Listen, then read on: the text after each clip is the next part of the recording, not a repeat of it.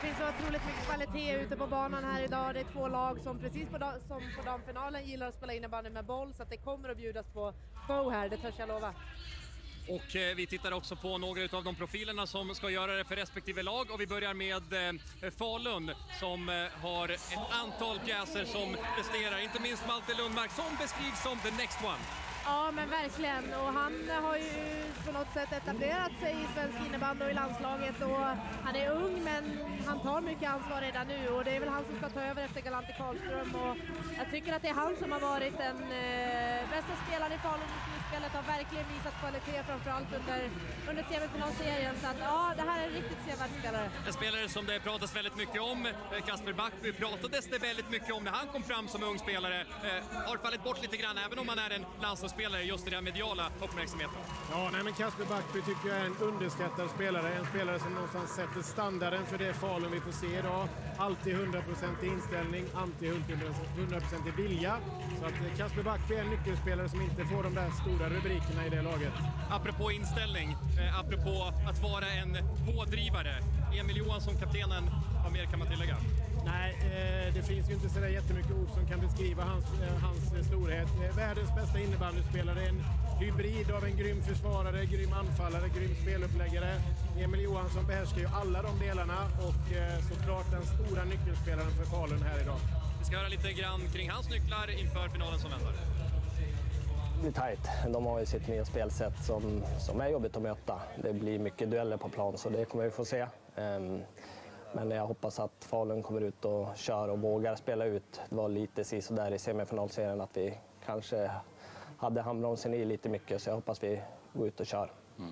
Hur skulle du vilja beskriva dem som eh, motståndare? Ni är ju välbekanta. Otroligt starkt lag, bra spets. Eh, Kanske inte samma bredd som tidigare år, men de har ju fått ihop det väldigt bra utan, eh, med Mika Konen här på kort tid också. Imponerande faktiskt. Så det är ett starkt defensivt lag som har bra spets. Och vad talar för Falun? Våran bredd, våran trupp är otroligt stark, över tre femmor, så får vi träff på majoriteten av spelarna så då är vi väldigt, väldigt svårslagna. Falun mot eh, Storvreta och som ni ser där så fick eh, båda de här två lagen kämpa, svettas i semifinalsammanhang. De gick till match sju, båda de där semifinalserierna eh, och det är två lag som har fått kriga sig fram till den här finalen. Ja, men det är jätteroligt att det på herrsidan var så tuffa matchserier. Det var ju verkligen små marginaler. Även om båda match 7-serierna, när de avgjordes, så visade Falun och Storvreta att det var de som skulle stå här idag. Vi tittar på lite profiler i Storvreta då eh, och eh, noterar en eh, poängstark spelare den här säsongen om en liten stund. Men först så tittar vi förstås på Måns Barsjö här, målvakten som behöver spika igen. Ja, men det är en superhäftig match för Måns Barsjö. Det är hans första SM-final, dessutom mot sin moderklubb Falun som han var i tidigare. Så att jag tror att han är ganska sugen på att vinna ett guld mot just dem idag. Ja, en krydda i krydd, eh, en krydda, krydda, en krydda i matchen helt enkelt. Eh, och eh, vi tittar då på den här poängstarka spelaren som jag var inne på där. Lite trigger happy var jag nog allt. Eh, det handlar om Albin Sjögren. Han eh, kan prestera och producera. Ja, men verkligen. Han besitter otroliga kvaliteter och har haft ett litet knackigt slutspel. Eh, han var sjuk under kvartsfinalserien, missade sex matcher tror jag det var och eh, har fått jobba sig in i, den här, eh, i det här slutspelet och har på slutet verkligen hittat sin form igen och det ska bli häftigt att se honom här idag. Han gör sin sista match för, för Storvreta innan han drar iväg. Så han är verkligen en nyckelspelare för, för Storvreta idag. Extra motivation för eh, Albin Sjögren. Och ni ser honom i bild där, eh, kaptenen som eh, alltid kliver fram när det vankas stora matcher. Tobias Gustafsson, han är lite synonym med detta Storvreta. Ja, Tobias Gustafsson är väl motsvarigheten till vad Emil Johansson är för Falun tycker jag. Katalysatorn i deras spel. Kanske bygger sitt spel lite mer på kraft och tyngd än vad Emil Johansson gör. Men Tobias Gustafsson passar i den här typen av matcher. Det blir mycket fysik. Så att mycket viktig spelare för sitt lag idag. Tobias Gustafsson tankar, vi vill höra dem nu.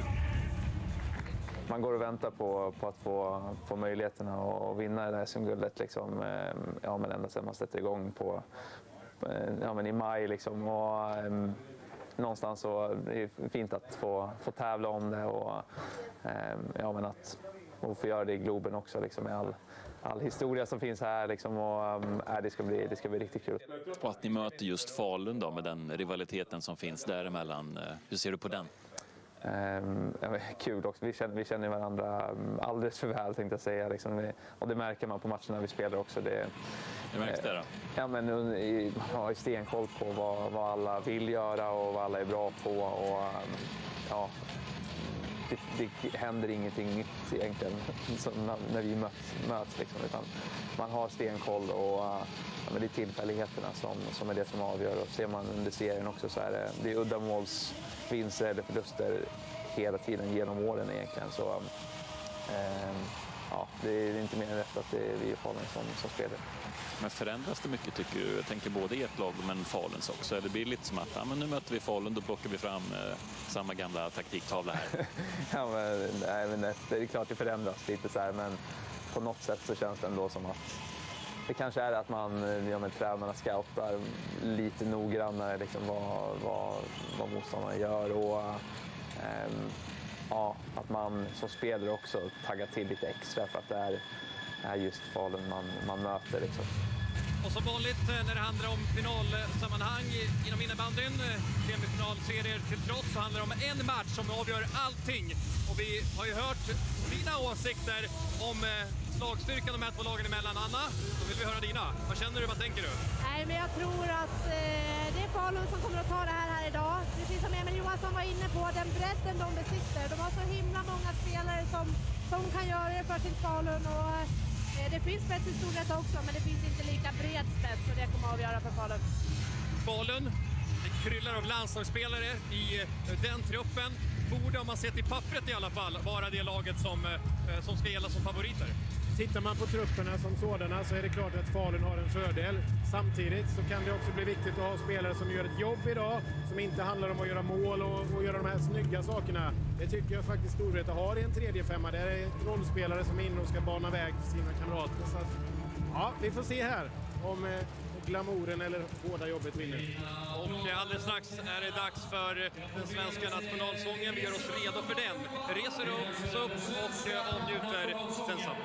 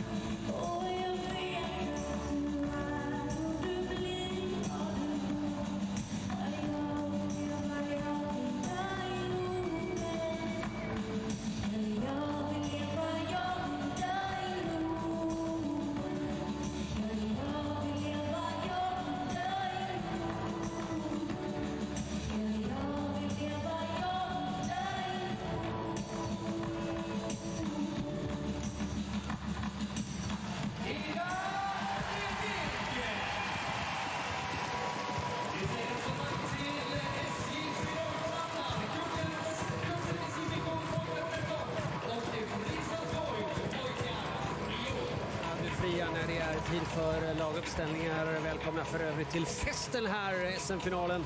Den mellan Falun och Storvreta. Ett Falun som har Ren och Lilja som målvakter. Ren börjar. Johansson, Karlentun, Samuelsson, Lundmark, Galante, Karlström. Berg, Enström, Backby, Rud, Lundmark. Nilsen, Burman, Holmgren, Aldibe, Wettergren, Jansson, Aldib, Bergqvist. Två brorsor alltså, Aldib. Från Falun till motståndaren då Storvreta som tränas av Mika Kohonen, legendaren Parsjö, Lindholm, målvakter Parsjö inleder i målet.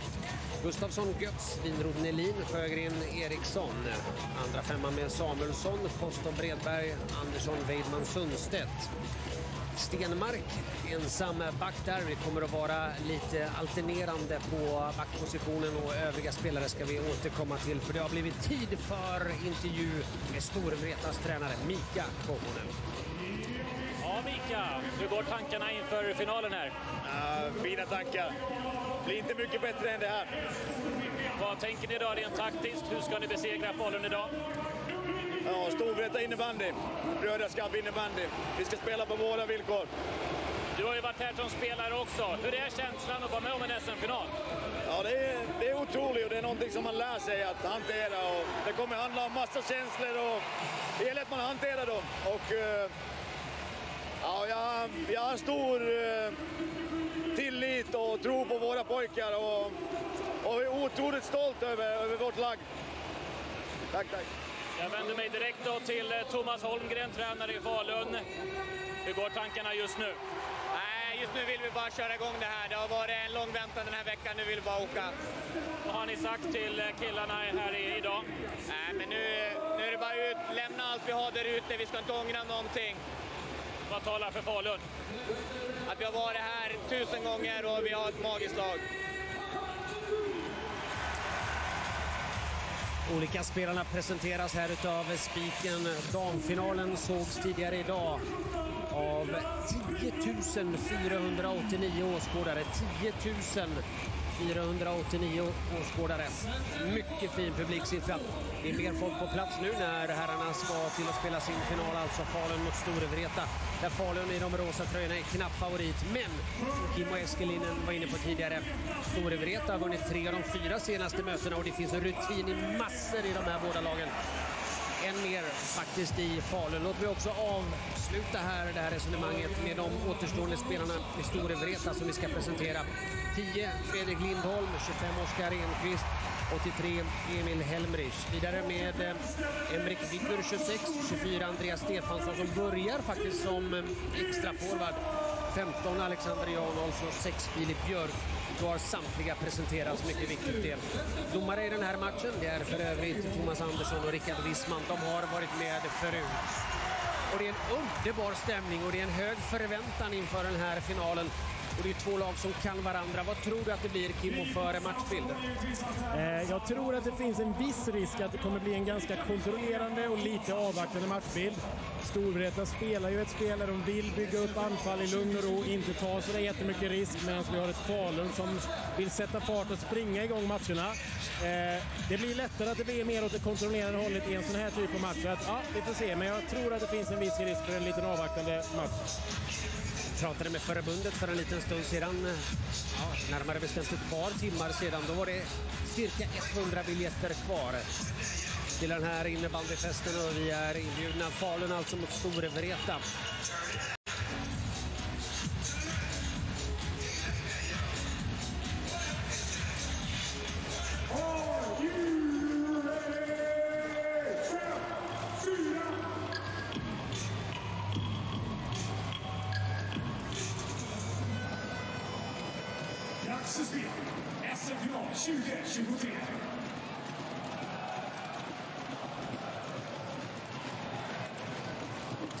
Det är alltså två lag det här som har eh, vunnit SM-guld allt sedan 2010. Det tål att upprepas. Det är en makalös bedrift. Det är två lag eh, som är giganter inom svensk innebandy.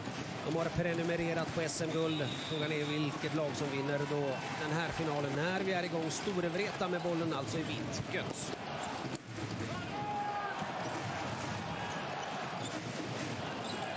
Prova skott, ganska enkelt och före Faluns rutinerade målvakt Johan Rehn.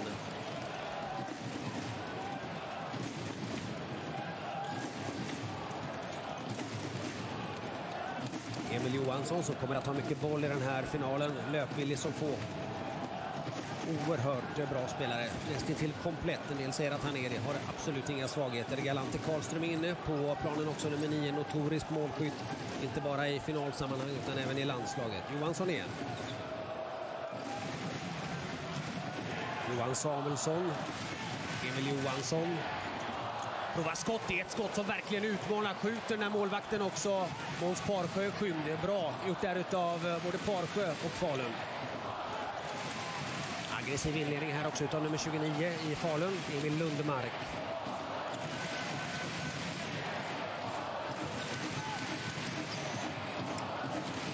Kul också att ha med Kimmo Eskelinen på kommentatorsposition. Kimmo Eskelinen, Kimmo Eskelinen som har spelat en rad eh, stora matcher också i sin karriär. När det kommer ett skott som täcks enkelt där utav Falun finns ett möjlighet där i djupled. Försök till skott också från Emil Rud som är en eh, spelare som brukar kliva fram i finalsammanhang. Ja, det där målet han bjöd på i fjol här mot Kalmarsund är ett mål man inte ser jätteofta i en SM-final. Vi får se om han lyckas återupprepa en sån typ av bedrift idag. Det var otroligt vackert. Förra årets final klev han fram då mot Kalmarsund. Så var han uppstickare i fjol. Får se om Kevin Haglund och de andra kan komma tillbaka nästa säsong.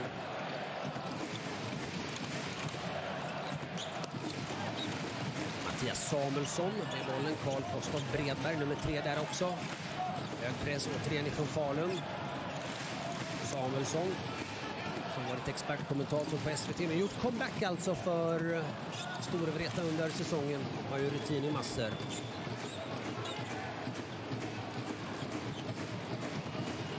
Filip Stenmark.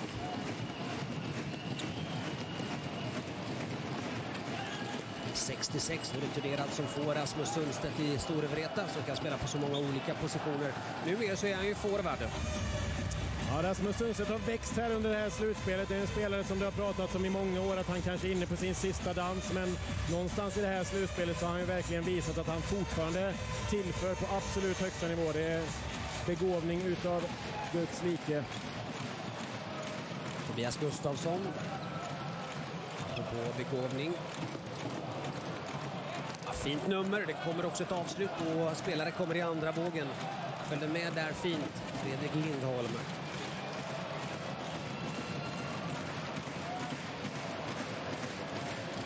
Nielsen, Burman, samspel.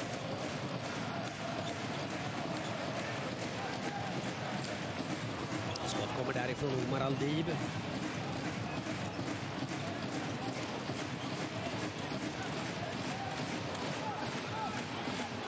Aldib, snabb som få. Wettergren och Aldib i samarbete. Jag ser att Storvreta faktiskt har gjort om lite i sin tredje formation mot vad de uttalade innan match. Filip Björk som har varit borta en längre tid klivit in och spelat center där och Oskar Enqvist har gått ut. Filip Björk med tröja nummer sex skadad i semifinalen. Klassisk center. Emil Johansson. Han står uppsatt som back, men blir lite förvånad om han är längst upp i banan. Karlentun jävligt bra kontringsläge. Albin Sjögren håller i bollen. Det är smart spelat och den där bollen är inne. Den där bollen är inne. Filip Eriksson fortsätter att leverera i slutspelet. Det stora numret det görs av Albin Sjögren och Storvreta tar ledningen. Ja, det är den där passningen som Albin Sjögren levererar till Filip Eriksson. Det är just därför de här två är ihopsatta. De ska hitta varandra med den typen av passningar. Titta här i millimeterprecision mellan de fötter och klubbblad på två Falun-spelare. Mycket bra gjort av Albin Sjögren. Och vi ser ju där också att Johan Rehn är på bollen är på väg att göra en eh, fantastisk räddning. Men alltså målskytt eh, Filip Eriksson som alltså har varit väldigt bra i slutspelet. Ja, poängligaledare och nu utökar han ju den ledningen. Det är The next one i Storvreta som ska ta vid nu när Albin Sjögren lämnar för ett proffsäventyr. Och då kunde han väl inte ha startat den här finalen på ett bättre sätt än så. Nej, sannerligen inte. Vackert anfall. Det är ett misstag som eh, Storvreta utnyttjar centralt. Ja, det blir ju sådana små detaljer som är viktiga i den här typen av matcher. Det är ju två lag som inte kommer bjuda på speciellt mycket. Blir man då inbjuden av motståndarna i minsta lilla så gäller det ju att hugga och det gör ju Storvreta direkt. Assisterande 22 Albin Sjögren. Tiden 3.35.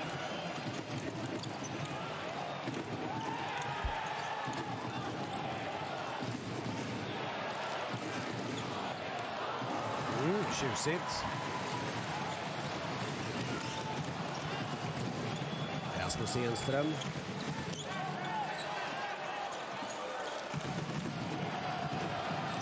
Två mot tre situation, skott från distans. Här är en med räddningen, Storvreta boll. Väldigt fokuserat och också avslappnat Storvreta. Ja, det märks att det är eh, ett lag som har varit i final tidigare. Ja, även om de har en 7-8 spelare som faktiskt inte har spelat final så finns det ju gott om rutin på de andra som är kvar. Så jag tror att de har pratat väldigt mycket om det här i veckan och för över det där lugnet. Vi har ju dessutom tränare i båset som har en mängd VM-finaler och SM-finaler på kontot. Så att rutinen finns. Spelar ett lite annorlunda försvarsspel, Storvreta. Ja, de har ju tagit in en ny typ av innebandy kan man säga till Sverige. Det är väldigt inspirerat av Mika Kohonen, tränarens Finland, där man på egen planhalva ligger väldigt nära sina motståndare och inte släpper. Så att någon typ av man-man-spel på egen planhalva, där forwards uppgift blir mer att försöka styra motståndarna till de ytor man vill ha i sin egen försvarszon.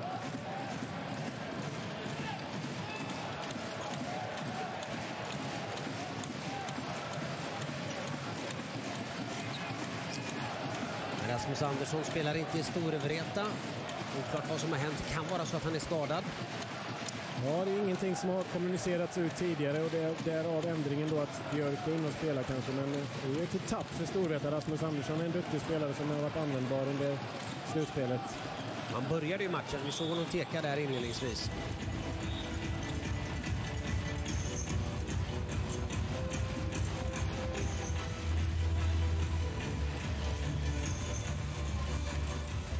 Intressant när det handlar om Falun att ligga under 0-1 för deras del. Det kommer säkert att vara många mål i den här finalen.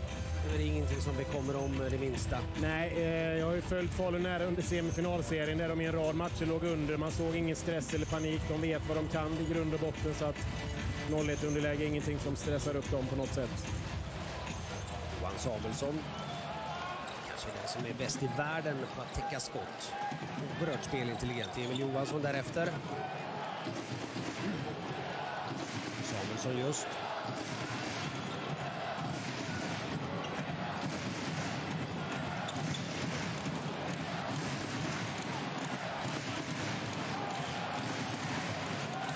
Galante Karlström som får med sig bollen. Samuelsson. Gött ligger tätt intill spelaren där också. Per Lundmark. Bra skottläge här för Johan Samuelsson. Väljer att spela istället till eh, nummer 22, Emil Johansson. Ja, där har Johan Samuelsson en chans att faktiskt lägga in bollen på mål. Det var ganska välbefolkat där och så här tidigt i matcherna kan det vara skönt att få lite sådana där extra gratischanser. Även om inte Johan Samuelsson är den bästa skytten Falun har. Emil Johansson med den där passningen. Lundmark, stor, kraftfull, har bollen. Fin start också på Götz i det defensiva spelet. Den lille kvicke 33an. Ja, jättebra försvarsarbete av Simon Götz som är underlägsen vad det gäller fysik i den duellen men använder både fötter och klubba och får också välförtjänt beröm av assisterande tränare Kim Johansson i Storvreta när han kommer ut i båset.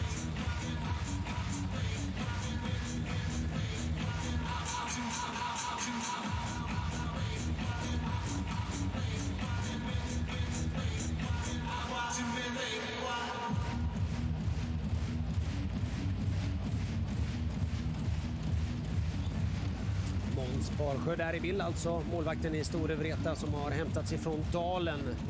Dalen som inte längre spelar i högsta serien. Och det, det är eh, en missräkning naturligtvis för Dalen. Jag tror att det är någonting som kan vara problem faktiskt för golvet. Men det här är bara en gissning. De pekar i alla fall mot någonting. Kanske är det någonting med sargen. Och vi har ett avbrott.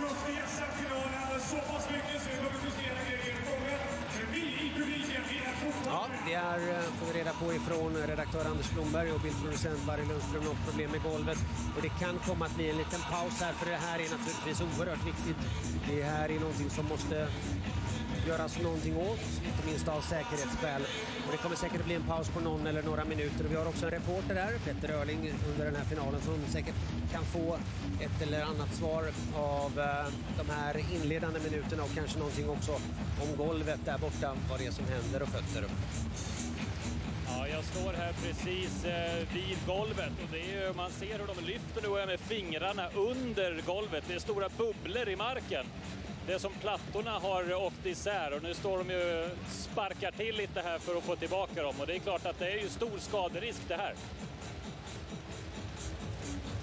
Nej, direkt oväntat. Jag har inte varit med om det här tidigare under de år jag kommenterat innebandy här i klubben. Nej, det finns ju såklart alltid en risk att sånt här kan uppstå när man lägger in golv tillfälligt för evenemang. Men eh, en glipa där bakom har jag inte heller sett tidigare faktiskt. Däremot så har jag spelat en landskamp en gång i Tjeckien och då gick det en elkabel under golvet rakt över planen så att jag tycker inte det här är så mycket att gnälla för, för spelarna. Säger alltså Kimmo Eskelinen som en gång i tiden spelade i Varberg, verksam i den föreningen. Och jag vill inte vara elak, men Varberg tog sig inte upp i högsta serien. gjorde istället Nykvarn. Varberg kommer garanterat tillbaka, men Nykvarn är alltså nykomling i högsta serien. Och det är eh, en klubb som har fostrat väldigt många egna spelare och är en ny bekantskap på den här nivån. Ja, det är en bekantskap som jag tror dessutom kommer sätta färg på den här ligan. Man har ju plockat hem sex spelare med rutin från SSL som är från Nykvarn ursprungligen. Bland annat världsstjärnan Hampus Arén som tidigare har vunnit guld faktiskt med Storvreta. Eh, så att det är klart att det är ingen vanlig nykomling som kommer upp till SSL med eh, den typen av spelare i truppen. Det sägs ju också tillkomma en rad spelare om vi fortsätter på det spåret Nykvarn alltså till nästa säsong. Ehm, kort bara innan vi återkommer till den här eh, matchen.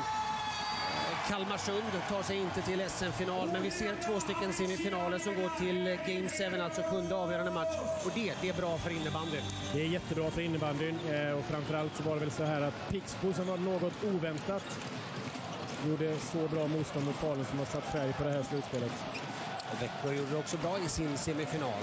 Vi nämnt om semifinalisterna. Vi är igång igen för ni typ- tillkomna tittare alltså Storvreta med bollen i vitt mot Falun. 1-0 för Storvreta första perioden. Tycker de månader där snabbt med golvet. Bra jobbat. Sundstedt.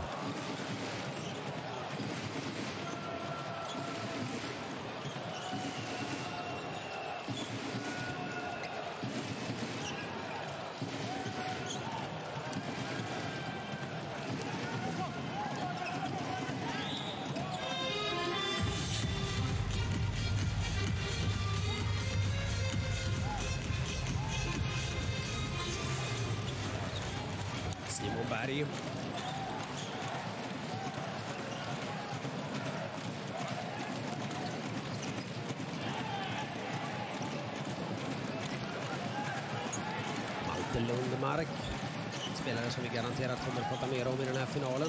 Gjort succé inte bara i Falun utan även i landslaget. Det är ju världsmästare. Nymark just. Missar där. Bakåt också utav Weidman. Och faktum är att Storvreta är disciplinerat och utnyttjar motståndarens misstag. Ja, och det är just det här försvarsspelet som vi pratade om tidigare. De ligger väldigt tätt på sina motståndare. Falunspelarna får inte riktigt den tiden man är van vid. Tappar man då bollen i en sån typ av duell så kan Storvreta istället skapa en enkel målchans. Eriksson med den där passningen är bra spelat. Det kommer också ett skott där från Niklas Winroth Nelin som han heter sedan en tid tillbaka. Som för övrigt anlände till den här finalhelgen i morse direkt från BB. Nybliven pappa. Ja, helt otroligt. Grattis. Kan bli ett fritt läge här då för Storvreta.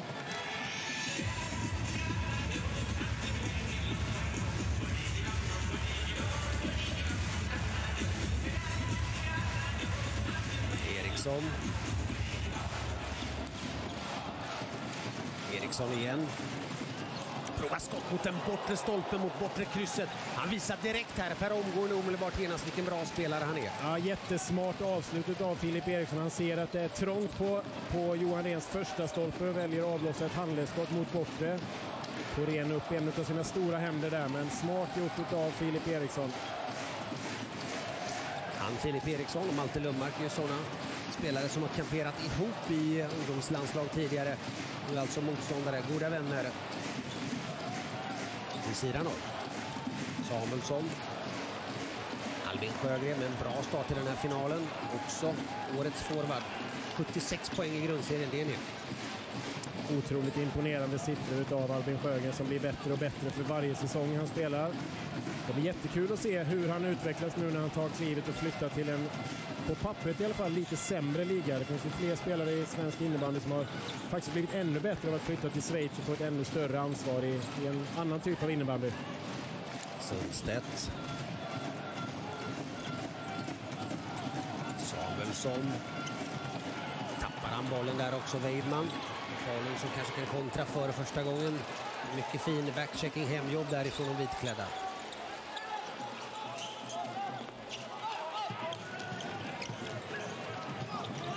Brytningen är utmärkt därifrån Kosto Bredberg. Weidman, skott från Bredberg. Skottäck där också från Nielsen.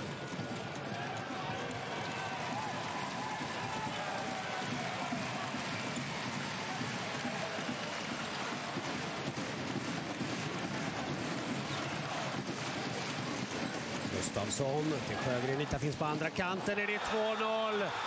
Det är en upprepning mer eller mindre på förra målet. Simon Götz utökar och än en gång general bakom det här målet. Albin Sjögren 2-0 Storvreta 10-16.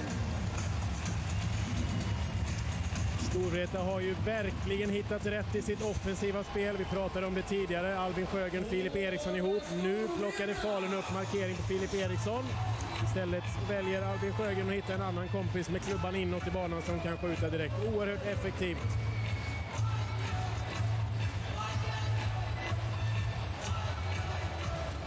Synd att det inte är dubbelassist i innebandy, för det är ett fint anfall från början till slut. Ja, jättefint uppspel. Och, och det är någonstans det här Falun behöver få grepp på det nu. Storvretas anfallsspel bygger mycket på att hitta rätt spelare i rätt positioner. Och har vi sett Albin Sjögren servera två gånger till kompisar som står rättvinklade och kan skjuta direkt. Så enkelt ska man inte få göra mål i en SM-final. Jag tror inte Falun är speciellt nöjda med det försvarsspel de har visat upp de första tio.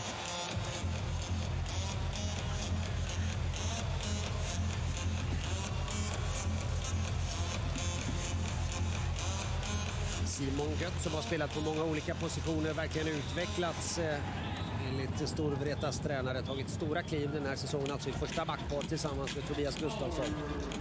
Och då har vi ett powerbreak och det kommer lägligt för eh, regerande svenska mästarlaget.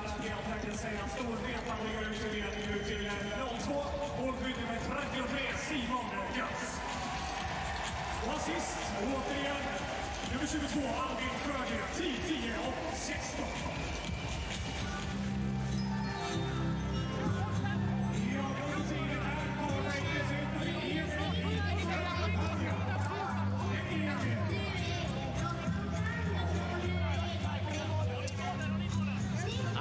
Lundgren är den som ligger bakom de båda målen för eh, Storvreta. Misstag där centralt i banan. Sjögren med den här passningen. Den öppnade till 1-0 målskytten Filip Eriksson. Så alldeles nyss också utökat. Gustafsson i samarbete med Sjögren, i samarbete med målskytten Götz 2-0 Storvreta. Där är vi nu.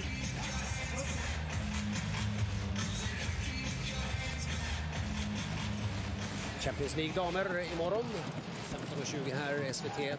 Det handlar om Wolfsburg, Tyskland mot Arsenal, England. Anna Marklund, expertkommentator, ny sedan en tid tillbaka på Sveriges Television. Trevligt. När eh, Sjögren har bollen. Bra vridning. Så långt ifrån sig där i Falun. Wettergren var det som bröt för en stund.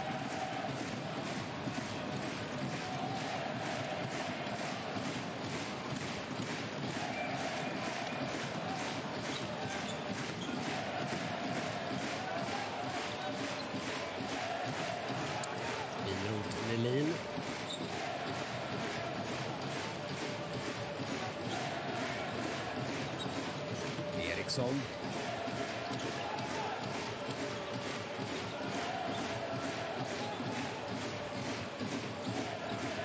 Vill gärna locka upp Faluns spelare här. Spela med tålamod här i Storvreta. Kommer den här djupledsbollen till slut? En boll i djupled där till Winroth Melin som har tagit sig upp. Börjar om på Sjögren. Gustafsson, Götz. Eriksson. Fint rörelsemönster här också i Storvreta. Kanske kan skapa ett nytt läge. Ja. Ja, här får vi se prov på precis det Storvreta är ute efter när de spelar sin innebandy. Stort tålamod i uppspelsfasen, väntar in rätt läge att hugga. Förivrar sig inte så fort de får upp bollen på, egen, eller på offensiv planhalva att gå på avslut, utan hem och vänd igen, byt kant, hitta sina lägen. Oskar Bredberg. Får hjälp av Mattias Samuelsson.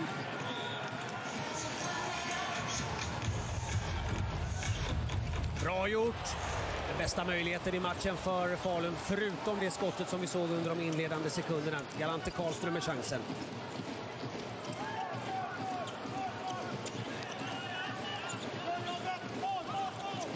Galante Karlström med den här framspelningen. Kommer inte riktigt rätt till bollen där, Emil Johansson. Lundmark. Det kan bli ett kontringsläge igen. Frågan är om det, det där blir ett frislag. Det borde nog ha varit det. Ja, det såg så ut härifrån, men domarna står välplacerade och eh, någonstans släpp på lite så att spelarna får göra upp dem och så vet man det från början att det blir den här nivån. Galante Karlström med det där skottet. Målvakten Parsjö med bollen. Petter.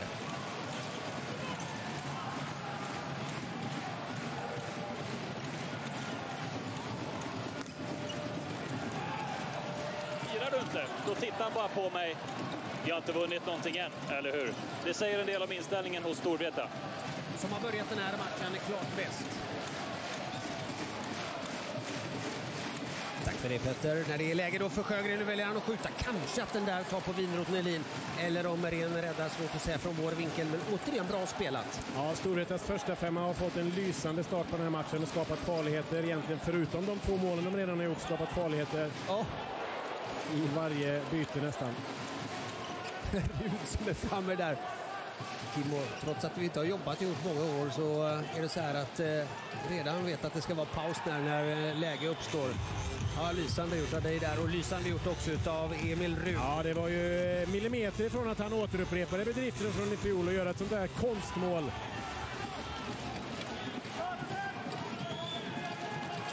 Rud med en eh, hand och en avgörande där och så väntar domarna in det som ska ske i nästa moment. Jag gillar det där att domarna har en hög toleransnivå för spelarna verkar också tycka om det. Det är väldigt lite gnäll här inledningsvis. Ja, men det är bra. Det är rutinerat domarpar som har dömt massor av stora matcher. De känner spelarna väl, spelarna känner dem väl.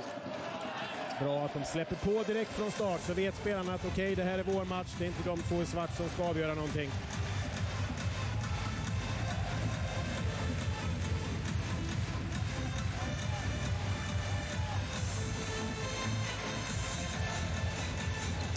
Svensson, Samuelsson. Karlentun som rundar kassen, försöker att lägga in den. Det finns framförallt Storvreta spelare. Samuelsson.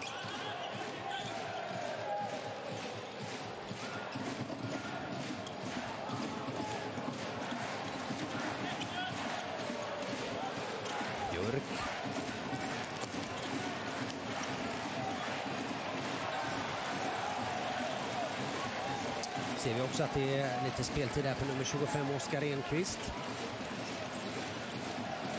Även på Helmrich, som en spelare som inte har spelat frekvent här under de inledande minuterna.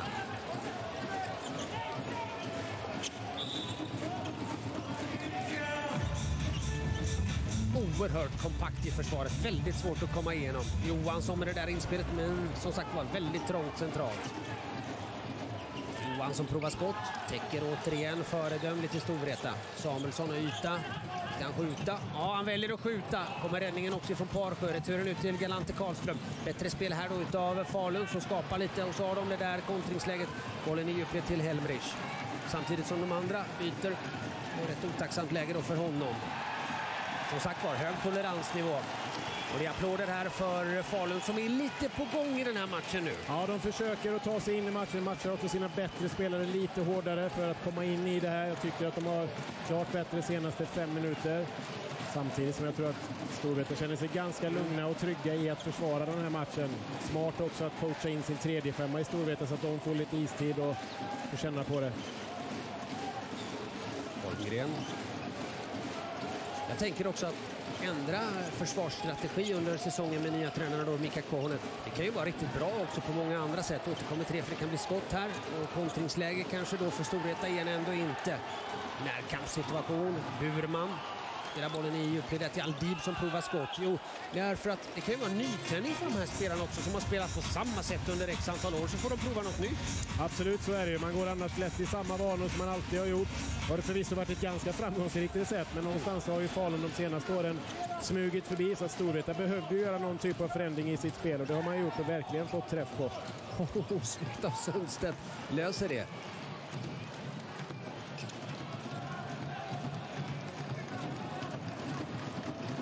Samuelsson med bollen i djupled. Och den här crossbollen igen. Sundstedt letar efter skottläge. Bra understöd igen i Vreta den här gången av Weidman.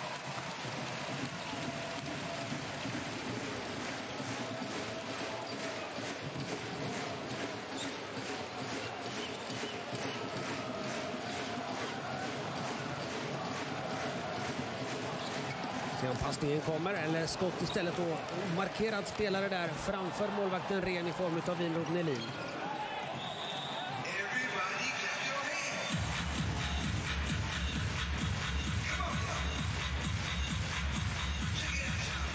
Götz. Sjögren. Sargen då till Götz.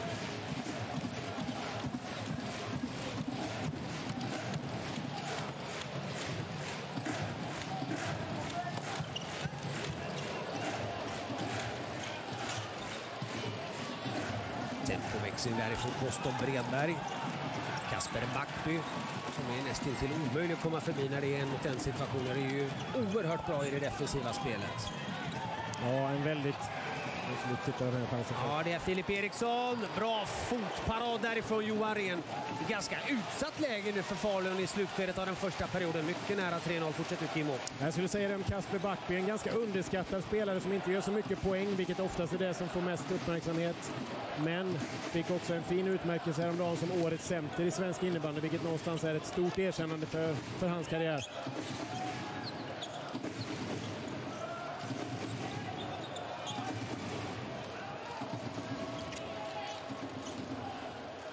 En spelare som dessutom har spelat SM-finaler sedan han var 16 år. Helt otrolig.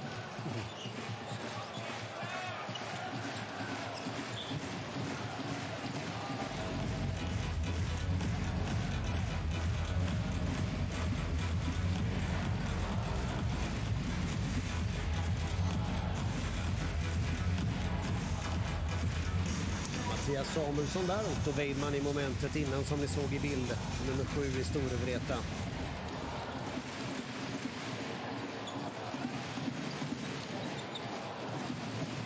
Se om Weidman kommer i skottläge. Enligt tränaren så har han ett eh, underskattat dragskott. Faktiskt någonting som Otto Weidman också noterat är den här säsongen, eller de senaste i alla fall, har utvecklat. Innan var han ju mer en klassisk center som fördelade bollarna. Nu har han flyttat upp som forward och väldigt skicklig på att komma runt sin back och avlossa ett bra dragskott. Häftigt också att se Filip Eriksson i aktion. Det kommer ju några nya yngre spelare som är och knackar också på landslagsdörren. Eriksson. Som faktiskt eh, fått lite kritik emellanåt för att det är för ålderdomligt landslag, men det kan man ju bara glömma för de har varit framgångsrika i de senaste världsmästerskapen och det är det det handlar om. Gustavsson.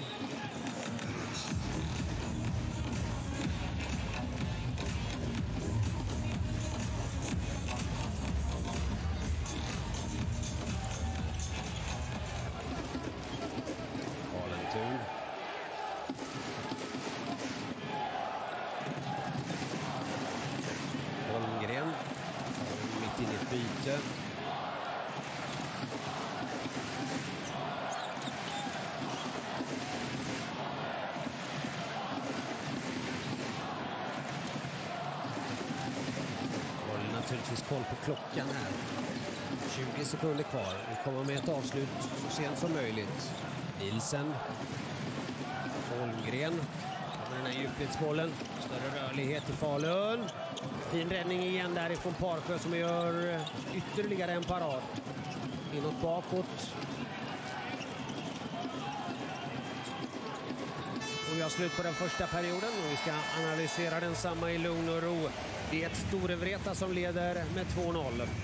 Fullt rättvist dessutom. Framförallt så är det Storvretas första formation med Albin Sjögren, Filip Eriksson med flera som har verkligen etablerat i stort sett varje gång man är inne på planen mot Faluns försvar.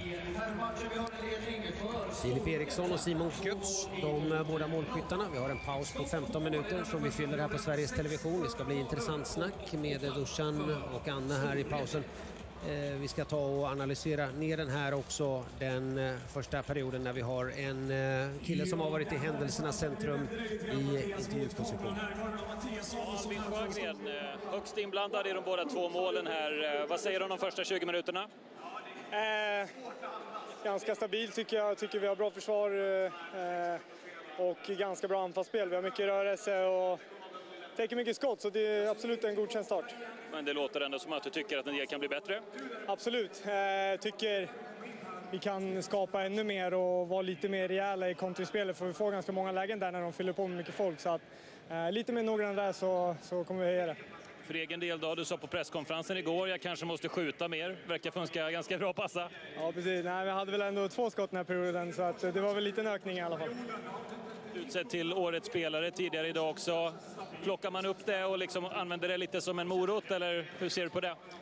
Nej, men inte så mycket. Jag sa tidigare att med all respekt, men jag har fokus på matchen och eh, försöker göra allt för att laget ska vinna idag. Så att det, är någon, det är väl någonting man får vara stolt över efter, efter karriären. Tack så mycket. Vi har Johan Samuelsson här också. Välkommen dig in här. Eh, underläge 0-2 då. Din syn på den första perioden? Nej, men det är väl lite som vi ändå har trott att matchbilden ska vara. Att vi är upp till oss att dra upp eh, dra upp tempot lite. De kommer vilja, vilja spela av det i och med att de eh, matchar ganska hårt på, på två femmor. Så det är upp, upp till oss att sätta, sätta fart på det. Eh, tycker vi att vi kanske haft eh, var ganska mycket utsida på dem. Måste försöka få in lite, lite mer bollar eh, i de obekväma ytorna och kanske testa Måns lite, lite mer. Eh, vi vet att han har problem med, med skott utifrån så det är bara fortsätta, fortsätta med, med det. Ni är ju ganska vana vid att vara i den här situationen. 0-2 underläge. Hur stressade eller inte är ni just nu? Ja, som du säger, vi har varit i den här situationen förr. Vi var här i, i fjol och låg, låg under eh, mot, eh, mot Kalmarsund och, och vände på det. Men eh, det kommer inte av sig självt. Eh, sen vet vi att eh, vi kan vinna matcher på, på olika sätt. Eh, ibland att det rinner iväg, ibland att vi får, får kämpa i underläge. Så, eh, vi sa det innan att eh, oavsett hur, hur matchbilden blir och så, så, eh, så, så ser vi till att vinna matchen på, på det sätt som vi behöver. Uppförsbacke för eh, Samuelsson och hans Falun så här tidigt in i eh, matchen. Det har annars handlat väldigt mycket om Storvreta och framförallt då eh, Albin Sjögren som har dominerat så här långt. Av Albin och hela hans formation. De skapar otroligt mycket lägen, spelar med ett väldigt lugn hela tiden och de är jobbiga för Falun där ute. Och han har haft ett finger med i spelet i det mesta i offensiv väg för utmanaren Storvreta. Inte minst när han hittade fram till Filip Eriksson 0-1. Ja, men en jättefin blick där och en otroligt bra passning. Svårt för Johan Rehn med den långa förflyttningen. Filip Eriksson skjuter direkt, ett jättebra mål.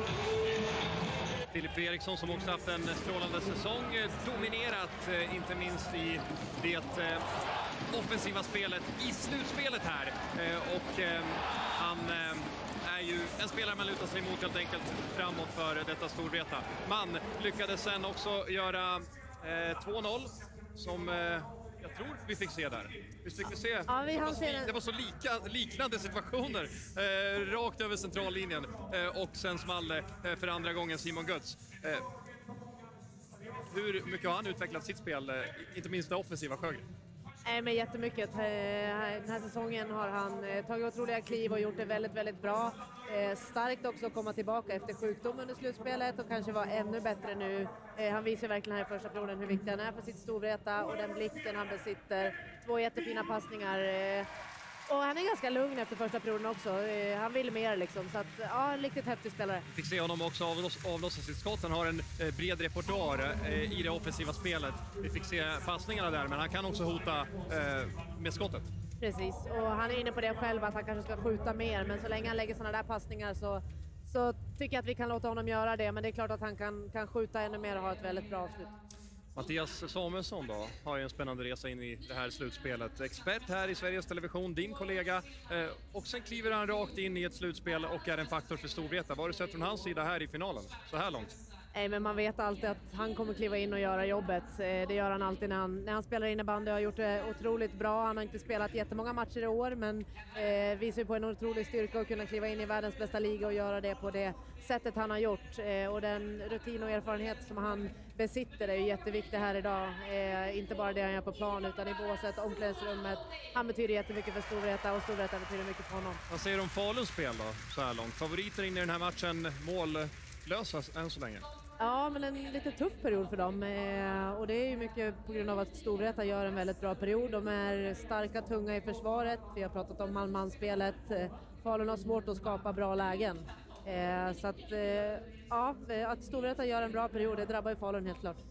Vilka kräver du mer av? Jag menar, det finns ju en uppsjö av landslagsspelare i detta, detta Falun. Ja, det är klart att det finns, det finns många som kan kliva fram, men en sån som Galante som brukar vara bäst när det gäller de här stora matcherna, det är klart att man har högre krav på honom och jag är rätt säker på att han kommer att höja sig eh, i de två sista perioderna. Galante Karlström som eh, faktiskt eh, i måndags prisades av eh, eh, självaste kungen för sina insatser. Innebandyspelare Alexander Galante Karlström för framstående insatser inom innebandysporten. Vann skytteligan för nionde året i rad. Målkungen fick passande nog motta en medalj av Hans Majestät Konungen, som sagt, eh, under måndagen i slottet för sina framstående insatser. Och han var i gott sällskap. Bland pristagarna fanns bland andra också Jerring-pristagaren Nils van der Poel. Den första innebandyspelaren att prisas av eh, monarken. Ja, men sjukt häftigt för honom såklart. Han är verkligen värd men också för innebandyn. Det är jätte, jättestort att, få synas i de där sammanhangen. Eh, Och Galant har betytt mycket för, för innebandyn, så att han eh, förtjänar verkligen det här priset. Från en framstående Falunspelare till en annan, nämligen kaptenen eh, i form av Emil Johansson som vi har träffat inför den här fighten. Ja, men känna lite på golvet i Avicii Arena och sen har vi middag med laget på samma restaurang som vi ätit de senaste, senaste åren, så det blir en trevlig kväll. Vad brukar du beställa då? Eh, pasta blir det. Igår var vi också där och då blir det pizza, men idag blir det en pasta.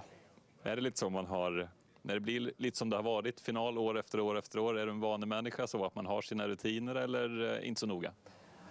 Ja, men man har lite sina rutiner faktiskt. Man blir lite skrockfull. Har det gått bra året innan så vill man göra hyfsat samma grejer faktiskt. Och du skulle säga att du är sån?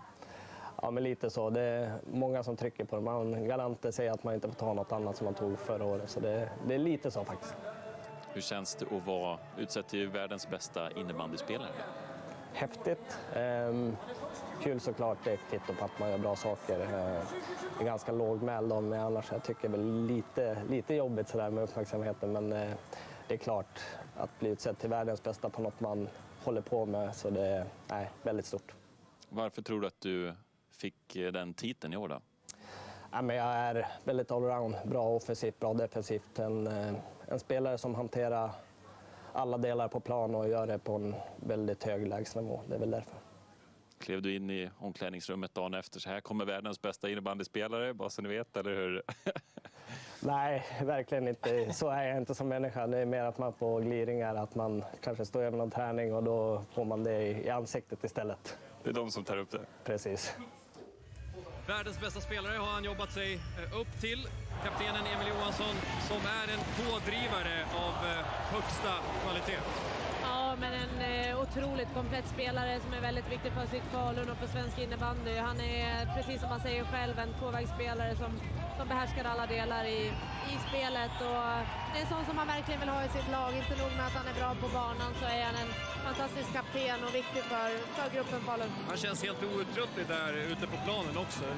Motorn är ju igång hela tiden. Benen går som trumpinnar. Ja, han kan spela hur mycket som helst. Det var någon match han hade upp mot en 50 minuter tror jag. Så att, eh, han har verkligen eh, Eh, en otrolig fysik också. Och, eh, ja, väldigt, väldigt viktig för Falun. Alla har sina olika rutiner och förberedelser inför eh, en stor match. Han var inne lite grann på eh, vad som är viktigt för hans del. Delade han- han fick lite eh, info även av Alexander Galante Karlström där fick vi, eh, fick vi höra. Vad hade du för förberedelser inför sådana här matcher? Var du också lite skrockfull och hade lite, lite saker för dig? Ja, men jag hade lite små, små grejer för mig. Det var korvstroganoff skulle alltid ätas med en kompis innan hemmamatcher och lite sådana här små grejer eh, som absolut inte påverkar egentligen. Men eh, ja, så är det. Ja, du tog ju hem några eh, VM-guld och även ett SM-guld så att kanske, kanske funkade ändå. Kanske. Kanske inte var det som var den stora grejen. Kanske var att du var så jäkla bra som spelare. Vad vet jag. Eh, hörni, Måns Barsjö i Storvreta är en eh, intressant figur. Han har som många andra eh, innebandyspelare drömt om den här dagen, att få spela en final. Eh, men när han var liten så drömde, drömde han om att göra det med motståndaren Falun.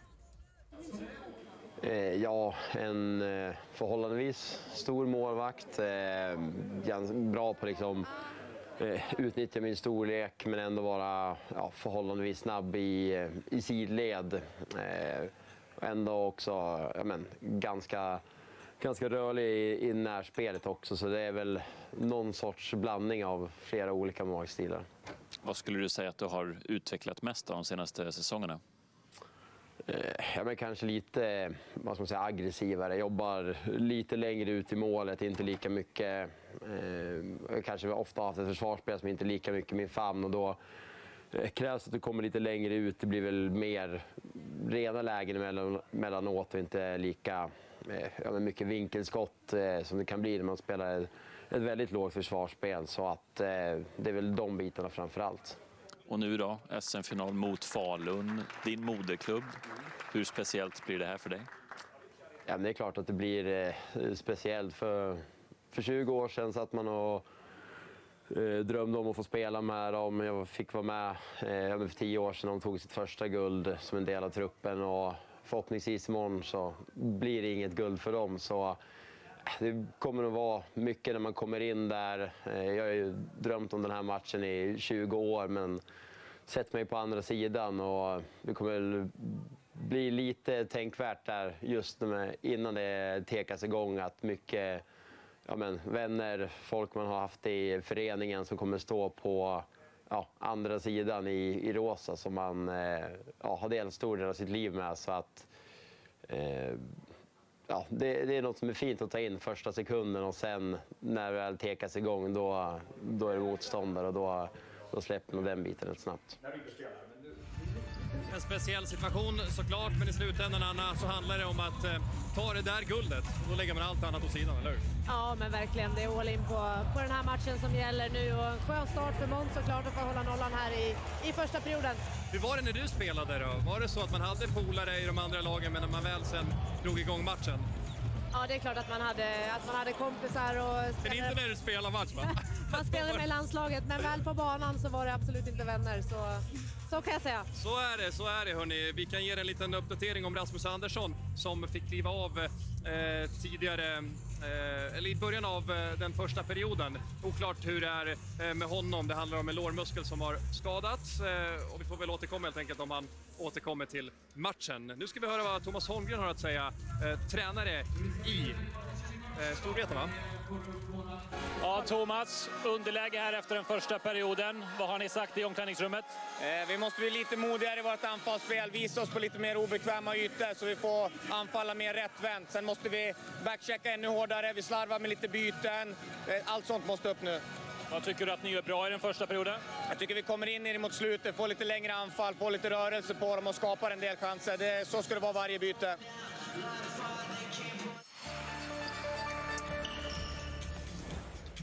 Vi hörde där eh, laget som är i underläge, tränaren där eh, och det är tid då för den andra perioden. Eh, vi har ledning alltså för laget från Uppland och det är ett Storvreta som imponerar här under de första 20 minuterna. Och du och jag pratade en hel del här om vad Falun bör hitta på. Det finns ju mycket rutin, det finns erfarenhet, det finns individuell skicklighet och kompetens. Den sista biten här jag pratar om, den måste ju komma fram nu. Så är det ju. Thomas Holmgren eh, förlitar sig väldigt mycket på den här starka kompetensen som finns i laget. Eh, jag tror att det kan vara svårt mot den här typen av försvarsspel som Storvreta bedriver. De ligger tätt hela tiden. Det är inte så mycket man kan förändra i just det här komma igång. Man måste förändra någonting i systemet, hitta kanske lite mer ritade uppspel än vad man är van vid att göra det här laget. Livechatta också med oss på sportsajten. Vi på Duo-appen delta. Och det är inget spel för Rasmus Andersson heller i den andra perioden. var ju med inledningsvis. Eh, Skada på honom, ett avbräck naturligtvis. Men det finns kvalitet massor även på bänken. Andreas Stefansson sitter ju där till exempel. Och när vi pratar om honom, hör här. 40 mål av islänningen i grundserien. Ja, det där är ju en eh, ganska unik målskytt i svensk innebandy. Ska inte toksåga honom helt, för det är ingen fantastisk innebandyspelare trots att han gör så mycket mål. Men just det här området som är markerat runt kassen. Där inne är det inte många som slår honom på fingrarna. Och nu, nu börjar han också här, nummer 24 för eh, Store Storvreta. Intressant. Väldigt intressant att man väljer att dra isär den första formationen som var så oerhört lyckosam i första perioden. Tyder kanske också på ett ganska stort självförtroende i Storvreta när man vågar göra sådana här typer av förändringar trots att det har funkat väldigt bra tidigare. Vi är igång då med den andra perioden. Storvreta i ledning 2-0 mot Falun. Giganternas kamp än en gång i en SM-final. Och som vi såg så var Stefansson bara in och vann den där tekningen och så Sjögren tillbaks in på planen. Det som är ganska så vanligt för övrigt inom hockeyn. Fin individuell prestation där utav Filip Eriksson. Jag på hockey. Hockeylandskamper är torsdag, sönd- eh, torsdag lördag. Jag rätta mig själv här. Torsdag lördag, Sverige-Finland. På Sveriges Television.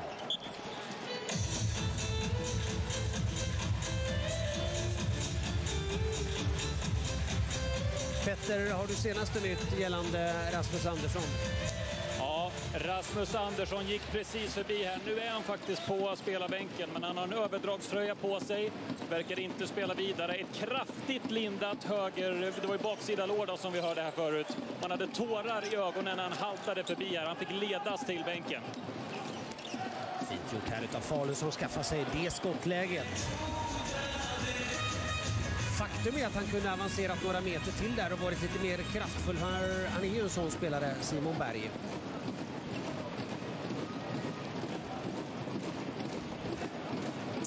Tufft för Rasmus Andersson såklart som gör sin första SM-final med Storvreta och så får kliva av så tidigt i en sån här typ av match.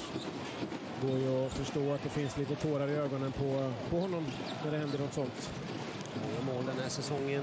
Väldigt tysta skott ifrån bakplan. Hämtat sig från dalen. Rasmus Andersson. Gustav Bredberg.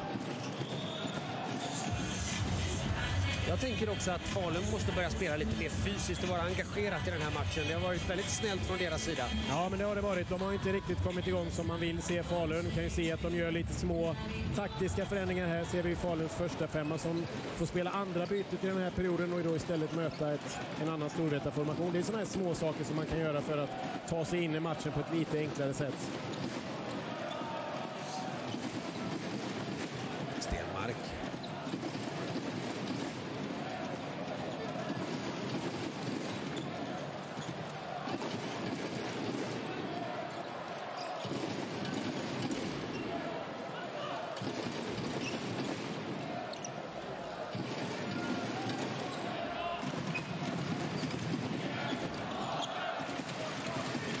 Ser också här att Storvreta inte tar några som helst risker. Inga chanspassningar för att riskera en eh, kontring emot sig.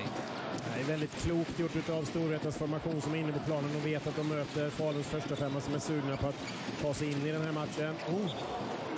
Och eh, de behåller det där tålamodet bytet igenom och egentligen bara spelar av lite tid och så låter de sin egen första femma komma in istället. Nelin spelade fram till Sjögren nyligen. Bra chans där för Storvreta att utöka till 3-0.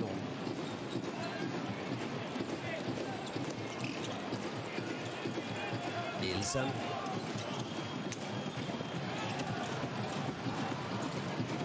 Götz som för en gångs skull står för ett misstag. Gått ifrån distans där också Falun, Linus Holmgren. Kontringsläget kan bli bra, men en utmärkt brytning där också. Gång av Viktor Wettergren. Ja, jättebra försvarsspel av Viktor Wettergren. Filip Erikssons favorityta där han kan utmana sin back. Det är inte ofta man lyckas stoppa honom där, så bra gjort av Wettergren. Gustafsson med en individuell prestation letar efter passningsalternativ. Sjögren är där.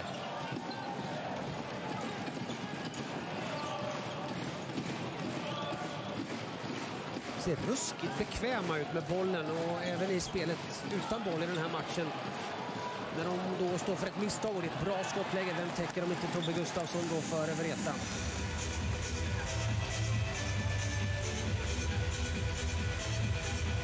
Tycker fortfarande att Falun tvekar en aning. Inte riktigt sådär beslutsamt som jag hade räknat med.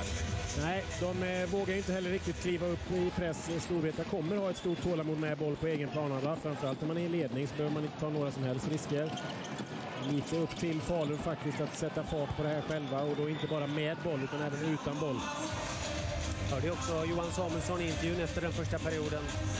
Han påpekade det. Jag tänker också eh, platsväxlingar för att sätta lite myror i huvudet på Vreta. Ja, det är någonting som Falun är kända för. De flyttar ju spelare över hela banan. Vi har ju sett Emil Johansson ett flertal gånger som back, var högst upp i banan, även Emil Nielsen. Men det är inte bara de två spelarna som behöver röra sig och byta positioner.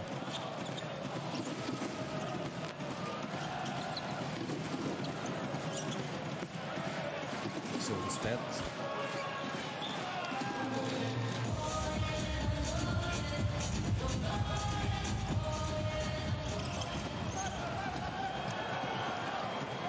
Med den där bollen in. Där finns Backby. Det finns också Simon Berg. Samuelsson och Backby som spelar hårt. Samuelsson riktigt irriterad på det där domslutet. Han tycker att Backby gör minst lika mycket i den där situationen. Det är dömt Falun-boll. Galante Karlström då, som har haft ett läge i den här matchen.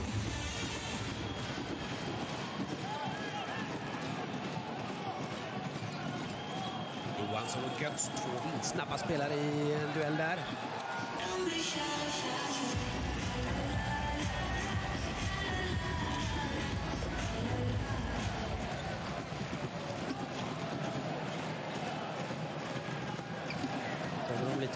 Pressen då i Falun mot Stenmark.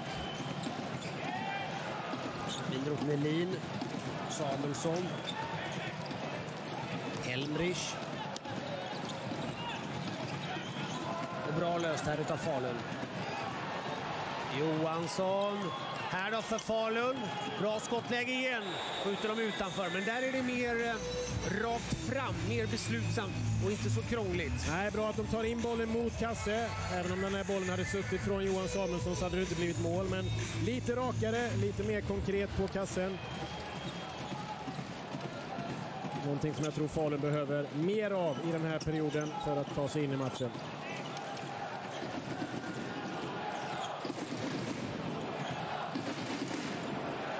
Eriksson.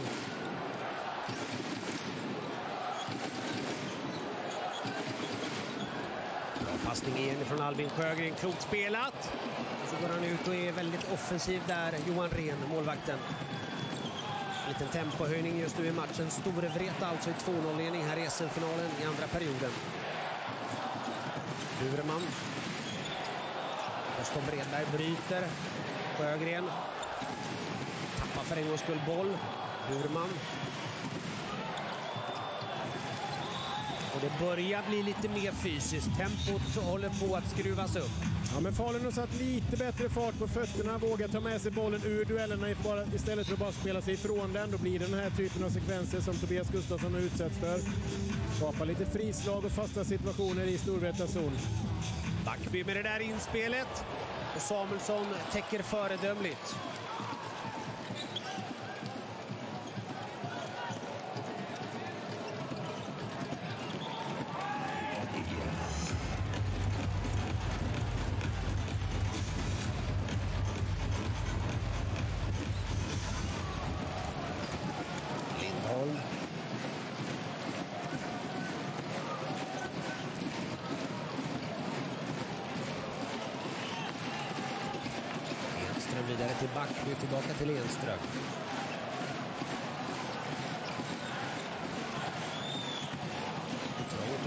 Centralt. Jag har inte sett så mycket än av Malte Lundmark.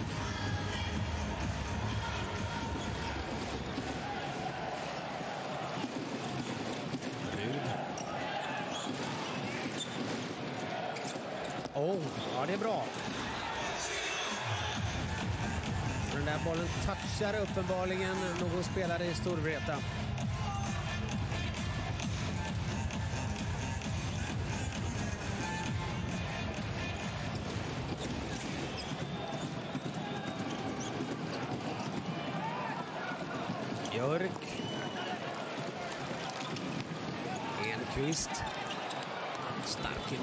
Närkampsspelet.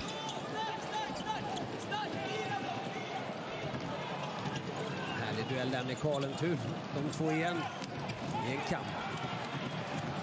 Ren sätter igång spelet ganska så snabbt. Johansson får genast markering på sig. Har inte kommit loss riktigt så som man brukar i den här finalen. Johansson just. Men där kommer han loss. Och där skapar han. Tittar långt efter domaren. Börjar bli lite mer desperat nu också i Falun. Ja, det är en världsklassaktion av Emil Johansson. Det är bara det där målet som saknas. Två mot en situation. Och han gör mål igen. När Falun är på gång i den här matchen så gör Storvretas Filip Eriksson sitt andra mål i matchen. Det är 3-0.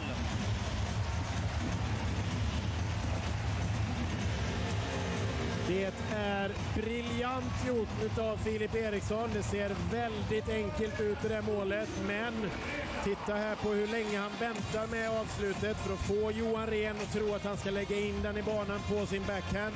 Där kan vi se Ren sätter ut högerbenet och så blir det öppet vid första stolpen istället. Det är sannolikt genomtänkt i Falun, men vi ser alltså Johan Samuelsson ta spelaren som eventuellt kan få bollen och lämnar alltså Eriksson Ja, det är helt, helt, helt rätt försvarsspelet av Johan Samuelsson. Han ska lämna det avslutet till Johan Rehn. Men det är Filip Eriksson som visar upp en oerhörd briljans i den sekvensen när han faktiskt väntar ut Rehn och kyligt bara rullar in den vid första stolpen. Så som han uppträder här Kim, och så är det nästa svenska storstjärna. Ja, han har ju verkligen eh, bevisat redan den här säsongen att han är där. Det är den här sista landslagsplatsen som han ska ta och verkligen bosätta sig i. Jag tror att det är hans fysik kanske som inte riktigt är på den nivån som svenska förbundskaptenen önskar riktigt ännu.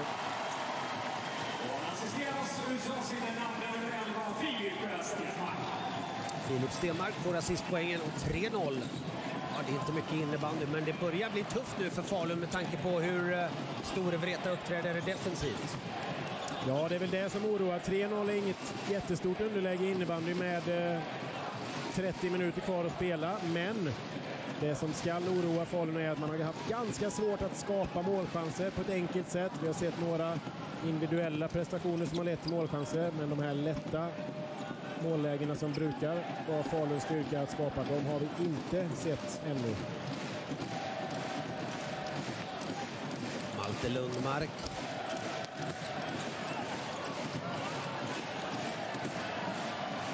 Återigen väldigt disciplinerat i Storvreta. Mycket fint spelat utav Filip Eriksson. Skottet kommer därifrån Niklas Winroth Nelin. Eriksson inte bara en avslutare utan även en framspelare. Backby då för Falun. Kanske att den bollen går via täckande Storvreta-spelare. 9.08 in på den andra perioden.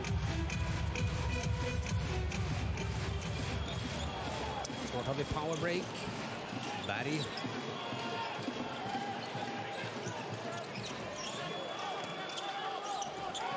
Lundmark utmanar, spelar ju så klokt. Och så har han balansen alldeles för mycket framåt i någon slags rotationsrörelse där, Backby. Väldigt bra individuellt nummer annars utav Lundmark när det är avblåst. Ja, bra gjort av eh, Faluns formation här med Backby, Lundmark, Ruder tar sig in på kassen återigen. Men vi ser att de behöver verkligen kämpa för att få till de här målchanserna. Väldigt få gånger som de lyckas spela sig förbi Storvretas kompakta försvar. Barsjö håller nollan efter halva matchen. Lundmark. Oh, den tar i ramen.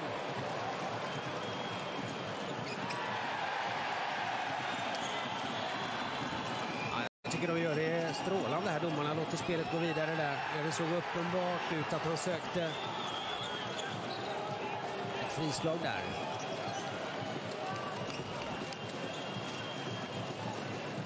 Johansson.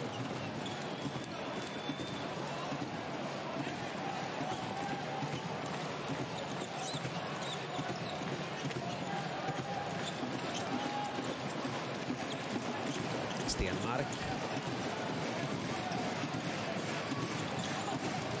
Lundmark.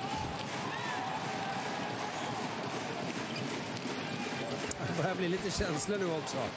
Ja, och väldigt intressant att se hur länge Falun väntar med att göra förändringar i sitt lag. De har ju en rad verktyg att ta till och sätta ihop. Det såg vi dem flera gånger under semifinalserien när de var pressade. Sätta ihop fem offensiva spelare som skapar konstant tryck.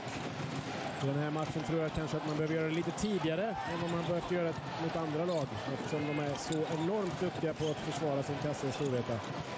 Ser också Stefansson vara inne på planen i ordinarie spelet så att säga. Johansson.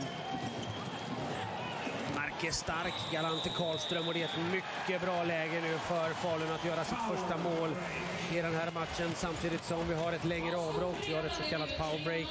Vi har eh, ramträffen här för en liten stund sedan Falun.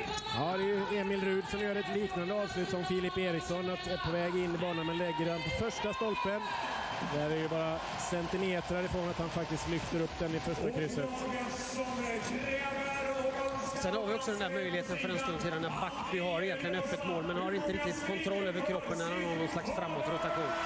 Nej, men de har ju skapat lite småchanser som de har tagit sig in på målet. Men som sagt, de här enkla målchanserna. En passning, skott, sidled. Helt tomt på den kolumnen för Faluns del.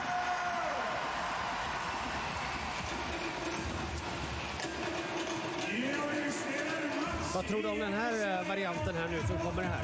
Nej, jag skulle bara säga så här att eh, lyckosamt för Falun att få en liten mini-timeout i samband med ett frislag. Så vi ser om de har hunnit att prata ihop sig om någon variant och är det någon i den formationen som kommer att avsluta så skulle jag ju gissa på nummer 9 eller nummer 22. Galante Karlström eller Johansson? Det är Galante Karlström. Det är en variant, ett skott som kommer igenom. Och Barsjö fortsätter att eh, briljera.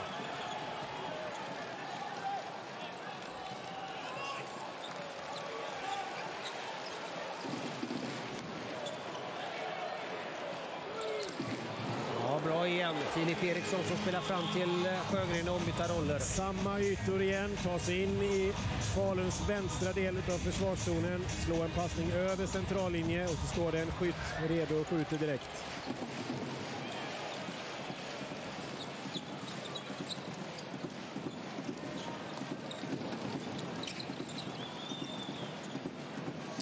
Ytterligare en spelare som eh, går av för Storvretas del. Ser att Filip Björk är på väg ut i omklädningsrummet. Han haltar en aning. Ska det vara ytterligare en skada då i eh, Storvreta? Nu har vi haft skadekänningar här under eh, stora delar av slutspelet. Tråkigt för hans del om han eh, också behöver kliva av. Det är inte sådana här matcher man vill gå ut i omklädningsrummet. Som Kim var inne på, var ju skadad i semifinalspelet när det kan bli ett nytt läge då för storhet att tappa boll där Gustafsson. Rud. Gustafsson täcker än en gång.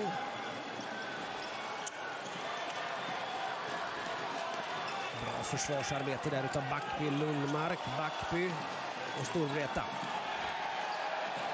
Ingen utvisning för övrigt i damfinalen tidigare idag inför lite drygt 10 000 åskådare. Ännu ingen utvisning här i herrfinalen.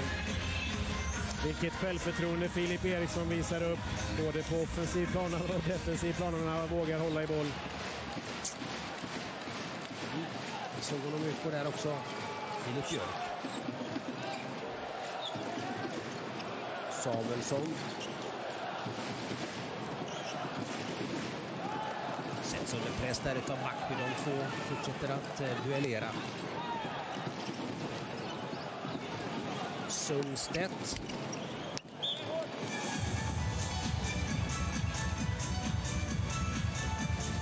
Rasmus Sundstedt som är något av en legendar inom den här sporten har ju varit med många, många år. Apropå legendar, Mika Kohonen där. Spelade som aktiv 11 VM. Fem gånger utsedd till eh, bästa spelare i den svenska högsta serien och världens bästa spelare. Ja, fem gånger har han blivit utsedd till det också. Du spelar mot honom många, många gånger. Ja, briljant spelare i alla delar av spelet egentligen, men det var ju framförallt hans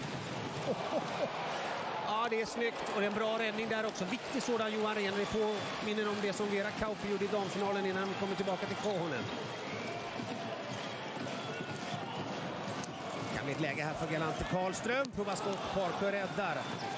Emil Johansson, mer Falun här. Björk har för övrigt sagt att han har sannolikt spelat klart här till vår reporter när det kommer en brytning där från Johan Samuelsson vidare med Kohonen. Jo, just det. Han är ju en briljant spelare, eller var. Idag är han en briljant tränare istället. Han behärskade många delar i spelet och framförallt den här speluppfattningen att hitta sina kompisar i fria ytor var någonting som kännetecknade Mika.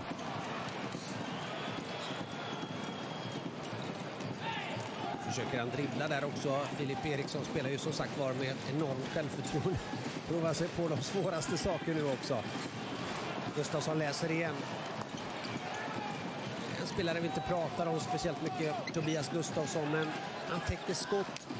Har han gjort något misstag i matchen nu? Nej, det kan jag inte minnas. Oerhört komplett innebandyspelare. Nilsen. Bra spelat.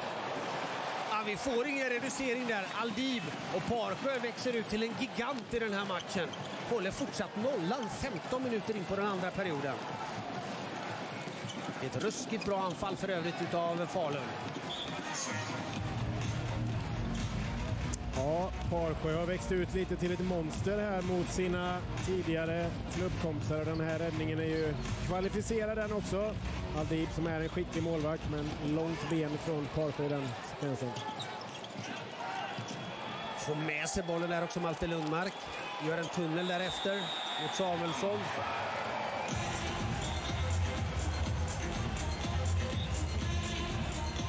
Galante Karlström, skottet utanför. Returen kommer ut där till Johan Samuelsson. Falun-supportrarna jublar. För en stund trodde det där var mål. Det är ett smart avslut av Galante Karlström som väljer att skjuta innan han kommer fram till sitt täck. Helt omöjligt för Parsjö att se den bollen och det är ju ren tur för Storvreta att han går två decimeter rätt sida stolpen för deras del. 52 mål i grundserien den här säsongen, Galante Karlström.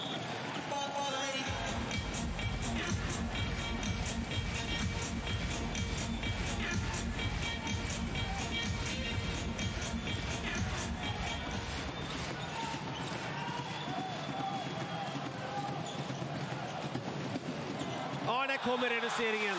Där kommer reduceringen. Det kommer ett skott ifrån Karlentun. Kanske att Emil Johansson är på den där bollen.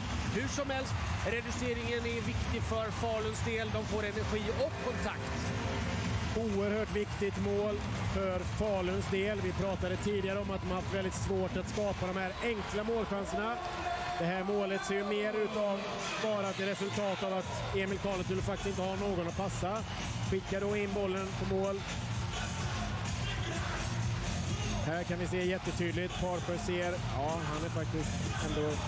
Han tar Emil Johansson in. Emil Johansson och Karlentun då i samarbete som leder fram till reduceringsmålet efter 15.49 och Falun har kontakt. Det här kan bli en riktig rysare. De är på gång nu. Ja, de behövde det där målet, framförallt att inte gå in i en eh, ny periodvila med ett 0-3 underläge. Nu har de skapat sig kontakt och det är fortfarande fyra minuter innebandy kvar av den här perioden så det finns ju goda möjligheter att närma sig ytterligare.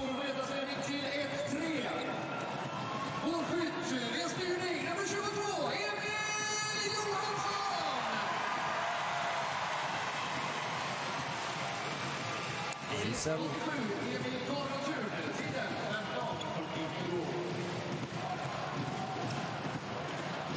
Pratade med eh, Faluns tränare Thomas Holmgren inför den här matchen och han har sagt det att eh, har utvecklat sin offensiv. Behöver skjuta mer och gör det där också. Och jag kan tycka att de skjuter alldeles för lite för returer kan uppstå. Det är mycket trafik framför Parsjö. Ja, men det är precis så i den här typen av matcher, framförallt när man möter ett Storvreta som de vet är väldigt oh, skickliga. Börjar vinna närkampen nu, täcker igen där Tobias Gustafsson. Ja, Falun är som sagt nu är de tillbaka i matchen. Storvreta nästan första gången efter 36 minuter som de får slå ifrån sig bollen i försvarszon och gå på byte. Tidigare har man ju tagit in de bollarna och kunnat spela igång själva. Klart hungrigare Falun för tillfället.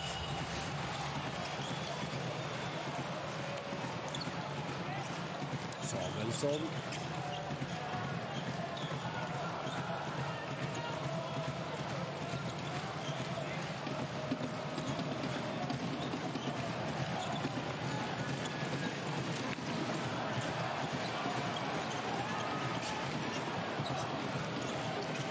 Johansson och skjuta där för en stund. Såg ut som om han ångrade sig.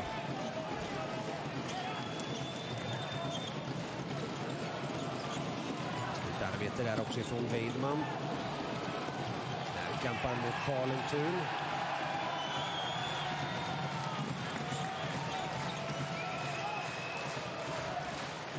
Götz. Samuelsson, Vita finns på andra kanten. Starke Samuelsson vidare till Weidman.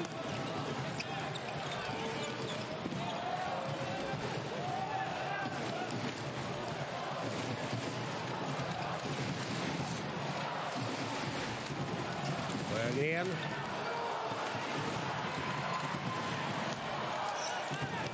fint där också från Enström. Du pekade på någonting här. Ja, jag ser ju att de har flyttat upp Rasmus Enström som forward här nu. Eh, någonstans börjar de väl matcha sitt lag på de tio bästa spelarna för resten av den här finalen. Och då är det ju ett, såklart ett drag att sätta upp Rasmus Enström som forward. Även om han inte har hållit till det speciellt mycket senaste säsongerna så är det ju en spelare som är enormt skicklig på att hålla undan och vända bort sina motspelare. Oh, öppnande passning, vilket vackert anfall! Vilket vackert anfall! Niklas Winroth Nelin målskytt. Men passningen, den sista passningen därifrån Tobias Gustafsson är utmärkt. Och det är 4-1 för Storvreta. Vilket klassanfall! Väldigt, väldigt, väldigt vackert mål. Precis när vi sitter och pratar om att Falun gör förändringar. Enström är inne som forward. Glömmer man istället bort den där ytan som Enström har varit bra på. Och eh, framspelningen av Tobias Gustafsson, magnifik. Och Sjögren är med i första momentet också som vanligt. Och Gustafsson till målskytten Winroth Nelin som upplever några fantastiska dagar. Har alltså blivit pappa också nyligen. Och det är 4-1 för Storvreta, 1.33 kvar av andra perioden. Och snacka om psykologiskt viktigt mål för Storvreta. Jättetungt för Falun såklart när man kände att man fick kontakt och var på väg lite grann in i matchen. Lundmark. Bra läst där också av lagkaptenen Johansson. Spelar bra och vilken räddning där ifrån Måns Parsjö. Han läser den där passningen. Gör ju allt rätt där Falun. Briljant sidledsförflyttning utav Måns Parsjö som läser tidigt att Emil Johansson ska spela ut den. Kanske att det hade varit aningen svårare för honom att rädda om det hade varit en rättvinklad spelare där. Martin Lundmark var ju tvungen att vänta ut bollen lite grann och fick sämre vinkel till sitt skott. Också med sig ett frislag där när det är eh, 49 sekunder kvar. Falun gör en betydligt bättre andra period. Ändå ligger de under här i den andra perioden också med 2-1. Totalt 4-1.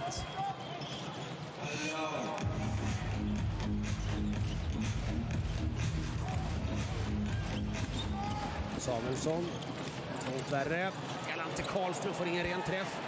Där fanns också Albin Sjögren. Galante Karlström. Johansson.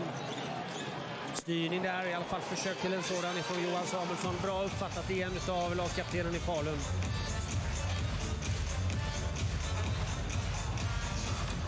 Ja, det är händelserikt nu. Ja, verkligen. Andra perioden tycker jag har satt lite bättre färg på matchen. Första var ganska kontrollerat från Storvretas del. Precis som du nämnde Chris så är Falun klart bättre i den här perioden, men fortfarande 1-4 på tavlan och eh, en period kvar att spela endast.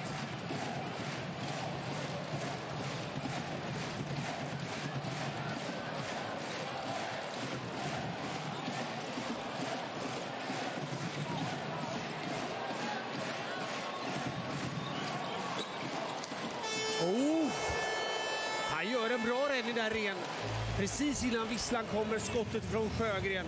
Och vad bra uppfattat igen ifrån Filip Eriksson som tempoväxlar. Storvreta gör en mycket, mycket bra final och den där räddningen vi såg nyss ifrån Måns Parsjö. Kolla här.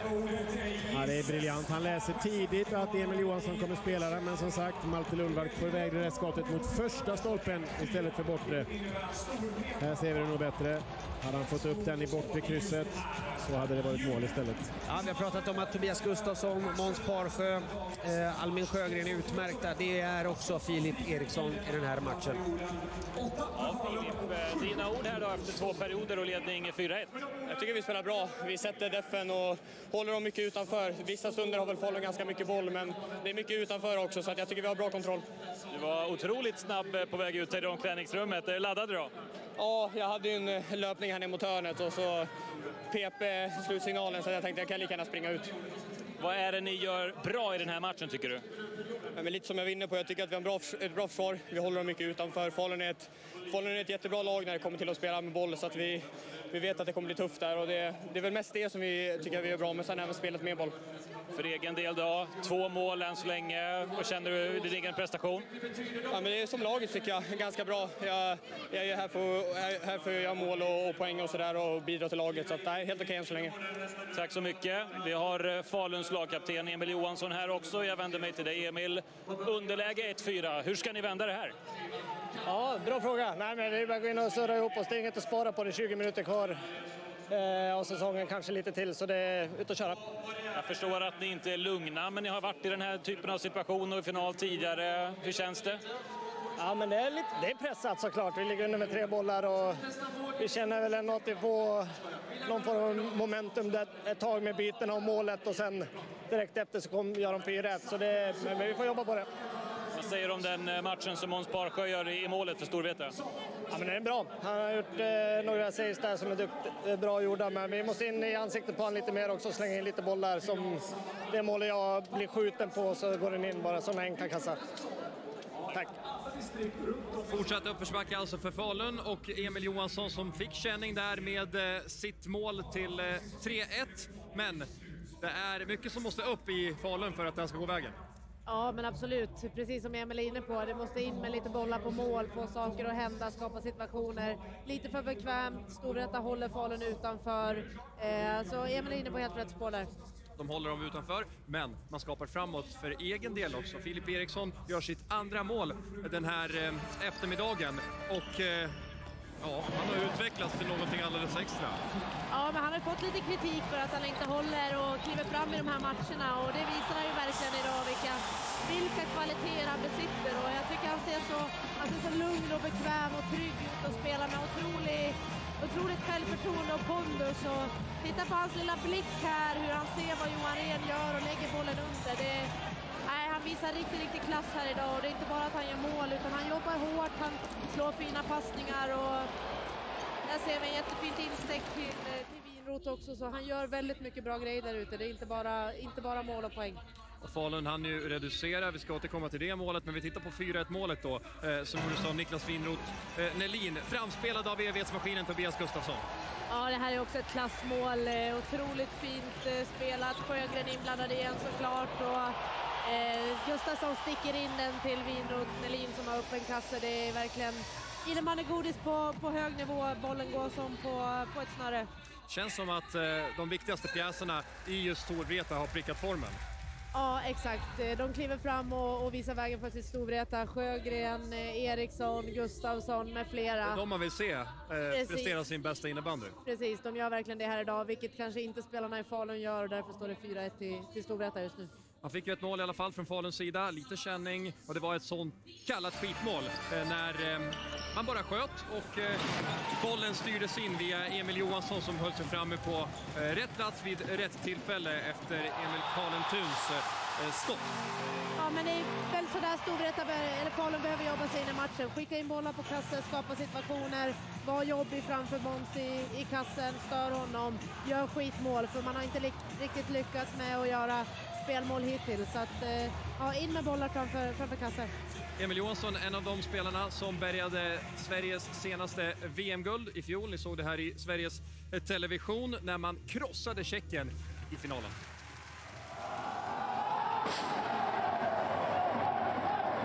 Ja, det känns ju gott såklart. Få gåshud nu, ser du? Ja, jag ser. Ja, det är en Håret reser sig på armen. Häftig känsla. Man kunde njuta lite mer den här gången med, med att vi hade skapat oss det utgångsläget. Så det var nej, otroligt skönt såklart. Sverige rivstartade finalen och ställde tidigt siktet mot det tionde VM-guldet. Malte Lundmark spräckte nollan som följdes upp av Emil Johanssons prickskytte till 2-0. Strax efter utökade Jesper Sankell med en projektil. Och tjeckerna hade ingenting att komma med. Ja, han är tvåmålsskytt. Den sitter ju rakt upp i krysset. Och Sverige utklassar Tjeckien hittills i VM-finalen. Vi har spelat 16.52 och det står 4-0. Efter två perioder stod det 6-1. Sveriges bästa poänggörare i turneringen, Alexander Galante Karlström, slog in sexan och den tredje perioden blev bara en lång väntan på slutsignalen.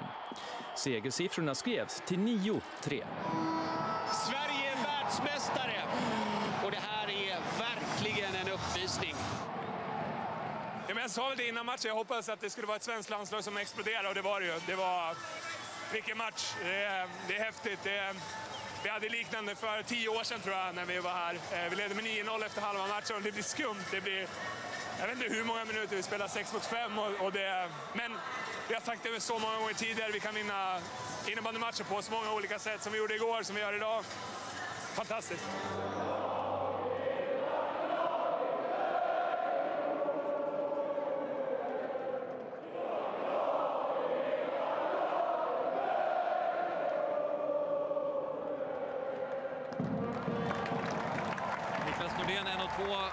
Förbundskaptenen. Den andra Thomas Brottman som har vant sig vid att vinna VM-guld. Eller hur? Så är det ju. Även om jag minns, och kanske du också, jag vet inte, jag ska inte sätta ord i mun på dig. eh, Just semifinalen, då var det tight, då var det tätt eh, mot Finland.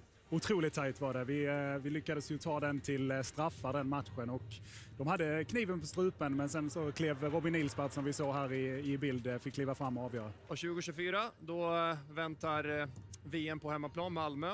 Eh, Hur mycket blickar du mot, mot det? Ja, men det börjar ju nu någonstans efter den här finalen. Vi ska ta ut en ny landslagstrupp om, eh, jag tror att eh, vår konsulent vill ha in truppen om tre dagar. Så att, eh, det är verkligen, eh, det är nu startskottet går och även om det känns lång tid framåt, ett och ett halvt år, så, eh, så är det nu det börjar. Ja, vilka har stärkt sina aktier, skulle du säga? Eh, ja, men jag hörde att ni pratade om Filip Eriksson här och gjort det helt fantastiskt idag. Eh, sen tycker jag att många av de här landslagsspelarna gör det bra där ute. Albin Sjögren är helt dominant. Det är fantastiskt att se på i den här finalen. Ska vi stanna lite grann vid just Filip Eriksson? Eh, En spännande individ eh, som har tagit eh, stora kliv, inte minst i slutspelet här nu. Eh, och även, vi ser ju hans prestation här i finalen. Varför har, vad är det du ser i hans spel som du gillar?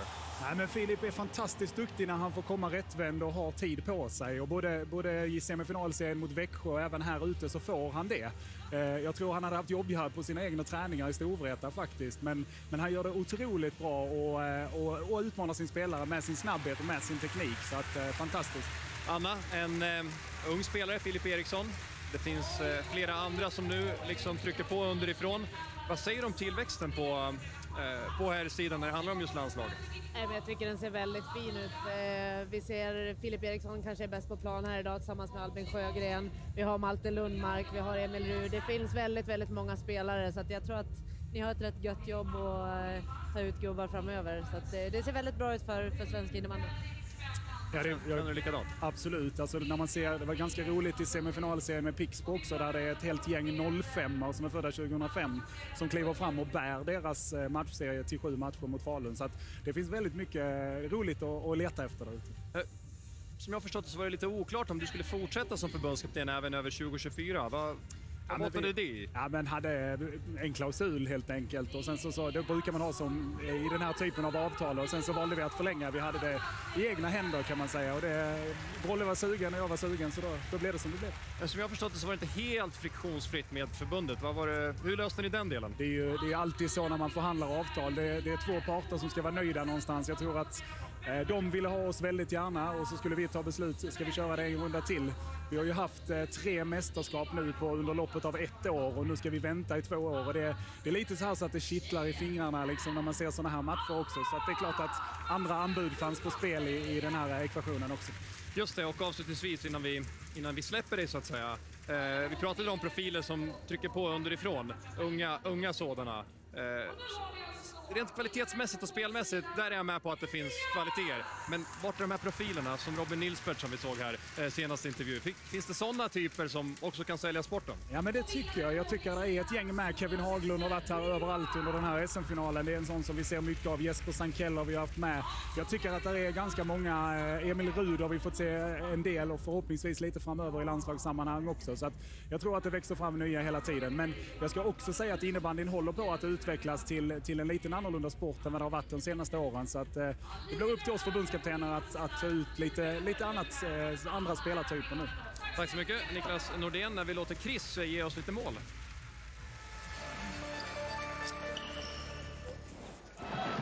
Damfinalen eh, spelades för ett par timmar sedan. Team Thorén i de gröna tröjorna här mot Pixbo. Matchens första mål 1-0 för Team Thorén, Ona Kauppi.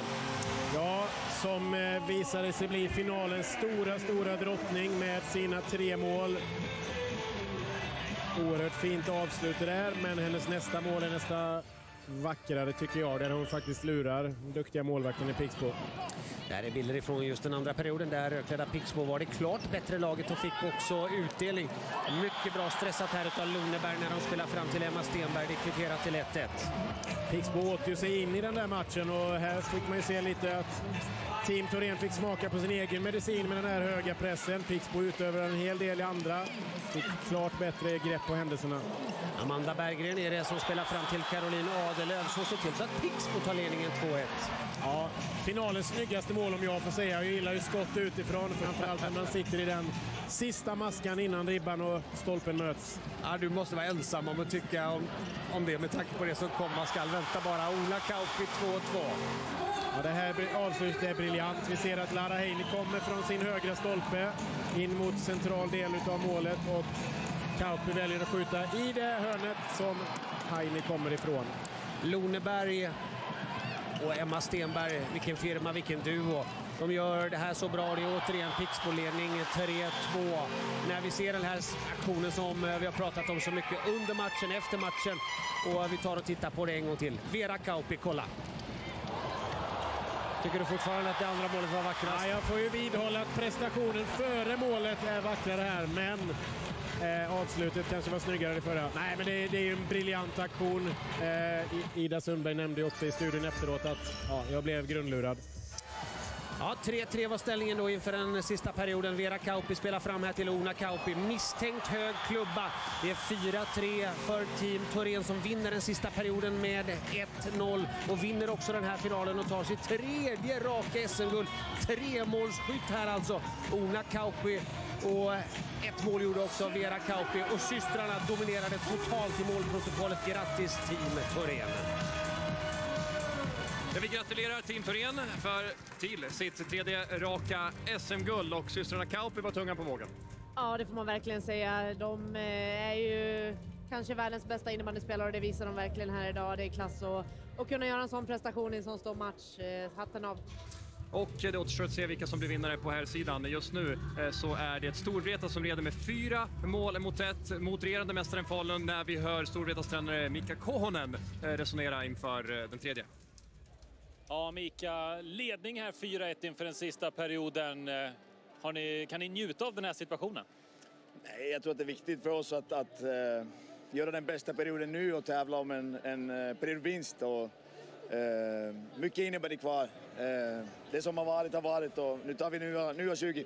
Och för att göra den bästa perioden nu, vad måste ni göra då? Jag tror att vi kan, vi kan höja vårt uh, spel med boll lite grann. Uh, Falun sätter tryck och momentum skiftas alltid på sådana matcher men vi var lite, lite hastiga och slarviga med bollen.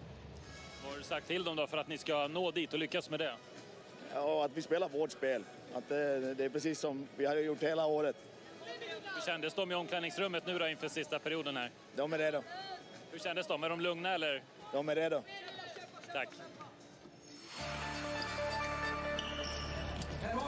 En målmedveten tränare där för Storvreta, Mika Kohonen, 45-åringen som eh, är på väg att göra succé också som eh, tränare. Har ju också en son som är väldigt, väldigt duktig och som är på väg upp och nå den här nivån.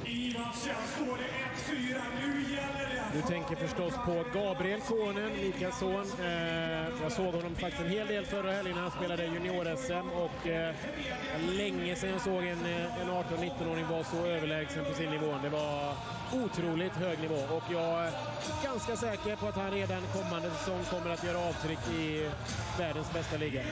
Och då ska vi veta att Mik, Mik, eh, förlåt, Kimmo Eskelinen har dyngkoll på innebandyn. Det är stora ord där från dig. Länge sedan du såg en sådan talang. Oerhört intressant att se honom då framöver. Fortsatt eh, fokus då på den här finalen. Falun alltså mot Storevreta. Det är eh, Storevreta i vitt som leder med 4-1 inför den tredje perioden. Och frågan är nu om Storvreta börjar bli passivt. För vi kan räkna med ett än mer desperat Falun. Ja, Falun behöver såklart eh, komma tillbaka i den här matchen ganska så omgående. Eh, 2-4 målet är ju det de jagar och det bör ju såklart ske så snabbt som möjligt. Tre mål är förvisso inget jättestort underläge, men som vi varit inne på tidigare, Storvreta känns väldigt, väldigt trygga i sitt försvar. Och eh, det är inte så att Falun kommer bjudas på massor av chanser. Storvreta spelar väldigt disciplinerat och har inte bjudit på egentligen eh, någonting under de här 40 minuterna av innebandy. Götz bryter. Det är ett kontringsläge. Där är Albin Sjögren som kommer till ett avslut där också mot Johan Rehn. Nilsen, Backby. Ja, normalt sett så är det ju så här att det är verkligen ingenting att hämta upp ett tremålsunderläge. Men idag, idag så känns det mycket. Ja, men lite just det här, alltså bristen på att man inte har skapat så mycket enkla mållägen. De har ju fått slita sig till nästan varenda målchans. Eh, det är väl det som ska oroa. Annars är det som sagt inte speciellt jobbigt att ligga under med tre mål i innebandy.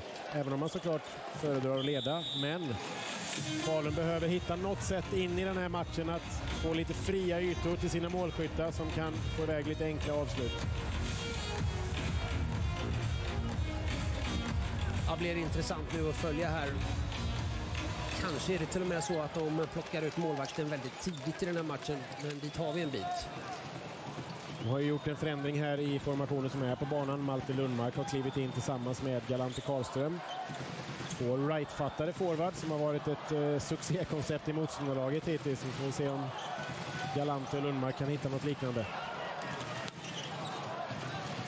Åh, vad bra spelat. Det är en galant passning därifrån Lundmark till Karlström.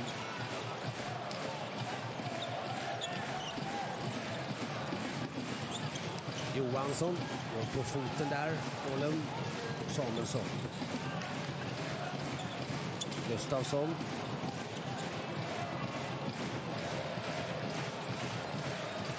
Byter ytor helt plötsligt för Storvreta när Falun är inne i ett byte. Passivt Storvreta därefter. Wettergren är det som bryter. Rud. Sen två mot etta till fördel här för Storvreta. När det kommer ett skott ifrån Filip Eriksson. Han spelar med ett sånt enormt självförtroende. Såg ni tempoväxlingen där? Ja, kolla på de där fötterna, hur de verkligen springer ifrån motståndaren på Åh, det är nästa mål. Den här gången så spelar Filip Eriksson fram.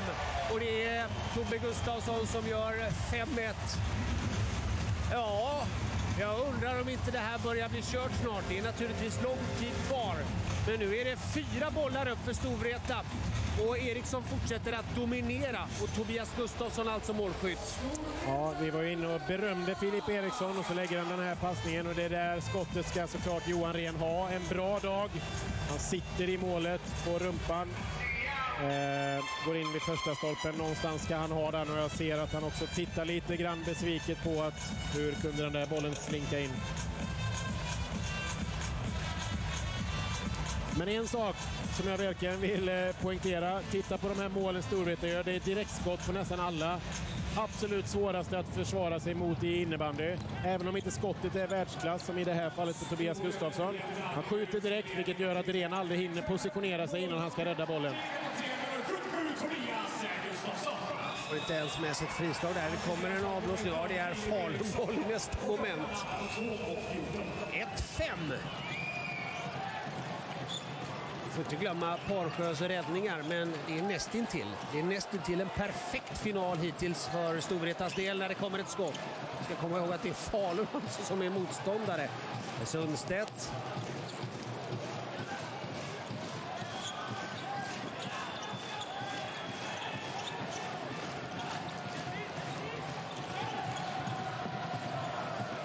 Också förbundskaptenen prata om att innebandyn är på väg mot eh, att bli en helt annan typ av sport. Intressant att höra honom säga det.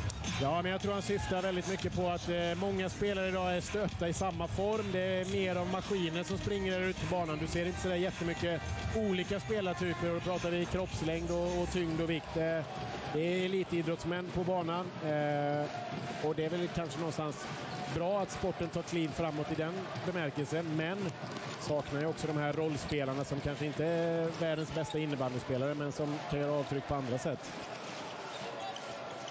Berg.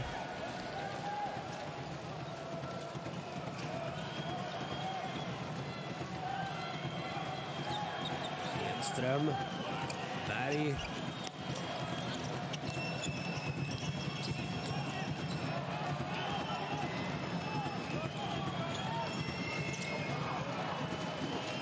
Nilsen. Men när de krymper boxen som de gör emellanåt i Storvreta, även om Sjögren är högt uppe nu, fortsätter det vara så att eh, Falun spelar runt. Det kommer väldigt få skott. Man vill ju hålla Falun på utsidan. Man känner sig extremt trygga i det här försvarsspelet. Vi ser att det är oerhört trångt i de centrala delarna. Därifrån de flesta målen görs i, i den här sporten. Så att Storvreta har gjort en eh, i stort sett prickfri insats försvarsmässigt så här långt.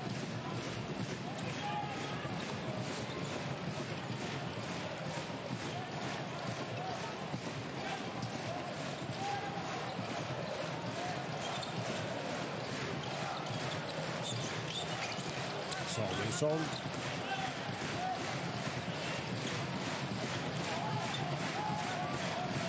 Galante Karlström.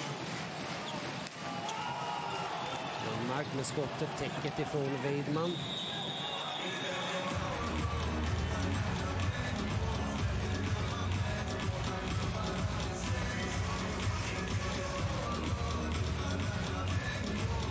Då Weidman där i bild. De har växt in i Storvreta-kostymen, gör sin andra säsong i klubben. Verkligen tagit kliv det här slutspelet också. 12 mål gjorda. Sundstedt väljer att spela den där bollen. Den är inte över linjen.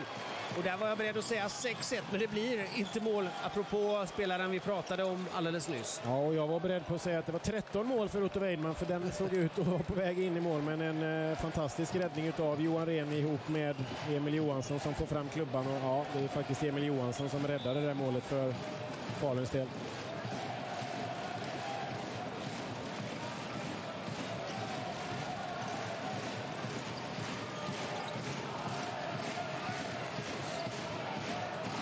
Nielsen. Backby.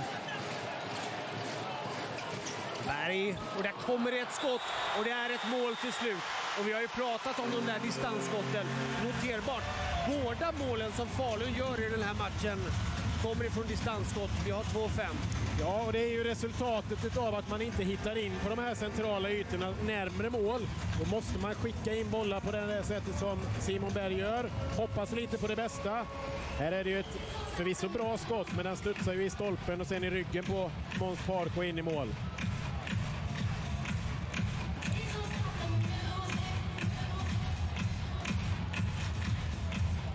Och målskytt alltså Simon Berg då för Falun.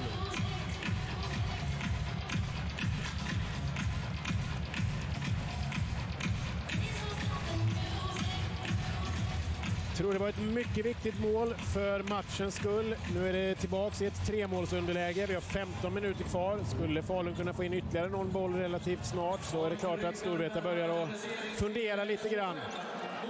Galante Karlström och Malte Lundmark därefter.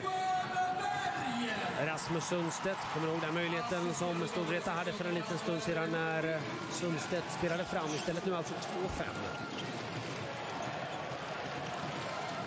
Går hårt åt sina namnkunniga spelare. Går hårt på dem nu i Falun. Ja, vad bra de löser de här situationerna, Storvreta, när Falun väl sätter press. Det är både en, och två och tre passningar under hög press från Falun. Ändå sätter man den på blad, får upp på offensiv planhalva och så börjar man om. Oerhört frustrerande som Falun-spelare att känna att man aldrig får grepp i den här pressen man sätter. Märsta. Johan Samuelsson. Emil Johansson. Tar hjälp av Lundmark. Får inte vila med bollen.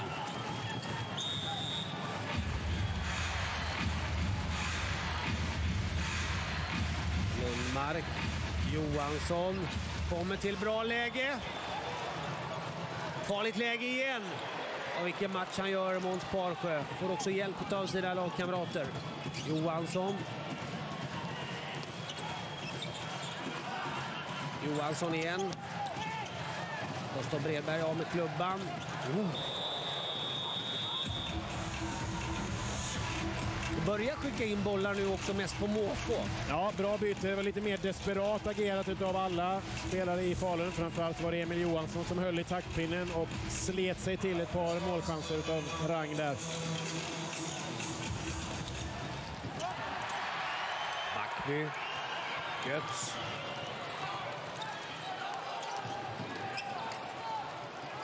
Nilsen. 13 minuter knappt kvar av ordinarie tid. Det bollar upp för Vitfjärda Storvreta. Rud som vi inte sett så mycket av ännu. Man kliver fram här.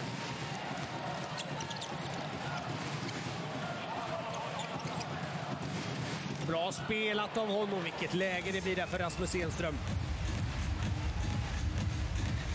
Ah, han vet om att han ska göra mer av det där läget, Rasmus Enström. Ja, det är en bra framspelning av Emil Ruud, men det är som sagt det här, de har ju försvarare i ryggen hela, hela, hela tiden, så man måste göra sin spelare i duellspelet och sen försöka få sina kompisar att röra sig ifrån försvarare för att hitta just de där fria ytorna. Det gjorde Rasmus Enström och Emil Ruud. just det.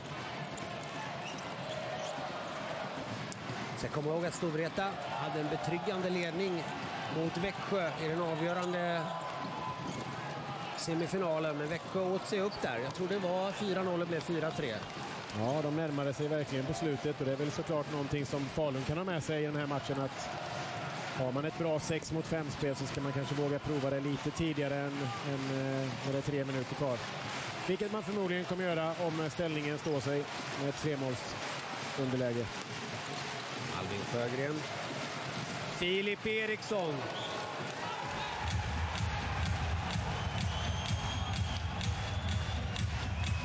Ja, det där är ju ett inslag som han så ska, såklart ska ha med sig. Johan Samuelsson gör det han är kanske bäst på i världen, nämligen att täcka skott. Och den bollbanan borde domarna ha sett att den var inte som ett skott brukar vara när det går över.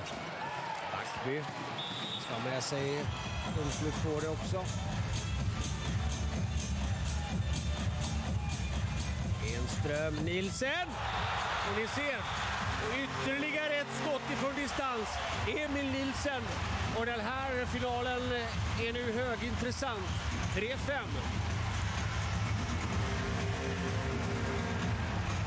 Ja, återigen skott från distans. Du har varit inne på det Chris. Det här är tredje målet som man gör egentligen från en ganska avlägsen position från mål. Här är det förvisso ett frislag där han hittar in mellan två Storvreta forward som missar lite i sin markering. Men tungt för Storvreta skulle ha haft ett ganska tydligt inslag i sekvensen innan. Ska berömma domarna dock som för övrigt har gjort en väldigt bra match och släppt på. Men eh, i det här fallet så är det ett mål som kanske inte hade blivit till om Storvreta hade fått det inslag i offensiv zon som man skulle ha haft. Emil Nilsen som var fullständigt dominant när han spelade i småländska Jönköping har vuxit som spelare nu eh, i Falun och börjat ta stora, stora kliv. Ja, han har gjort ett jättebra slutspel, klivit fram flera gånger under semifinalserien med viktiga mål och aktioner. Johan Samuelsson, ute på täckande Storvreta-spelare. 11 och 16 kvar av ordinarie matchtid. Två bollar upp för Storvreta.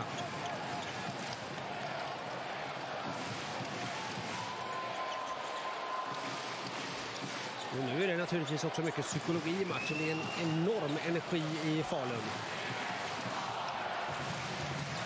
Emil Johansson vrider och vänder där mot Sundstedt. Kommer också till avslut. Johansson igen lägger den ut med runden. Så hockeymanér där till eh, Lundmark. Och Post Bredberg i ryggen. Vinner den duellen. Ja, det är härliga dueller just nu. Johansson letar efter passningsalternativ. Karlentun.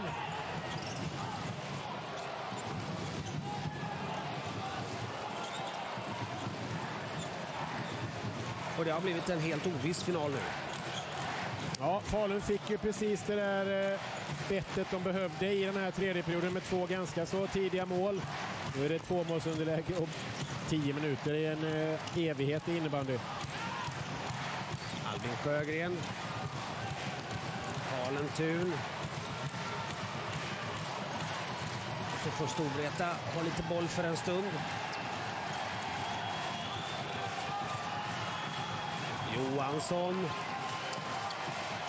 Och Rud. Halva perioden har gått. Det är intensivt nu. Nielsen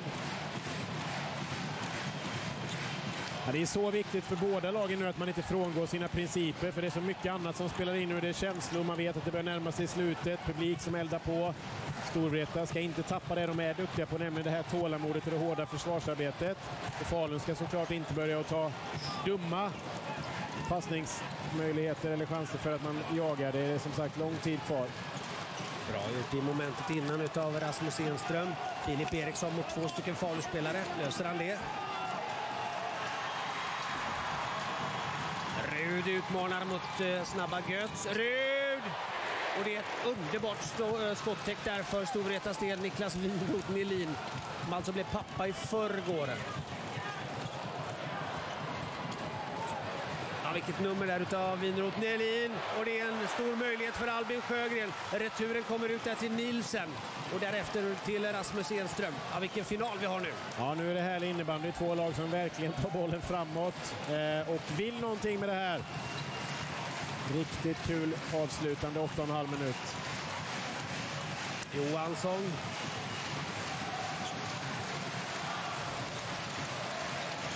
Ja, smart.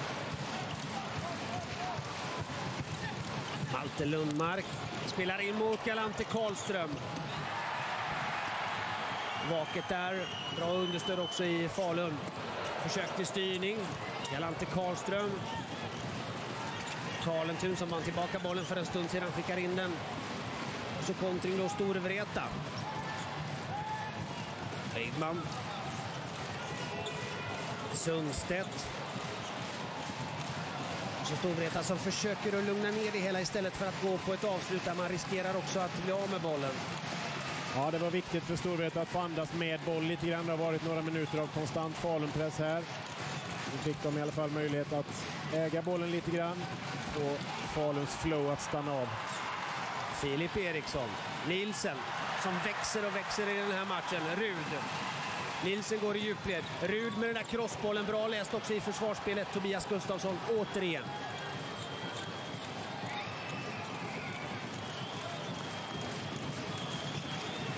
Berg.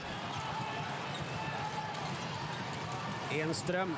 Fint tekniskt nummer av honom. Götz står i vägen. Bra försvarsspel igen av Simon Gös. Jag tycker han har gjort en jättefin match i egen zon. Vunnit mycket dueller trots att han är huvudet kortare än de flesta av sina motståndare. Ja, vilken utveckling på honom. Mindre än sju minuter kvar. Sundstedt. Gustav Bredberg. Johansson är på den där bollen. Det är en hög toleransnivå utan fortsatt gnäll. Det är en härlig respekt de visar för domarna och för varandra, spelarna. Beröm där. Ja, verkligen. De eh, biter ihop och kör allihopa och vet att det är samma regler som gäller åt båda håll. Karlentun.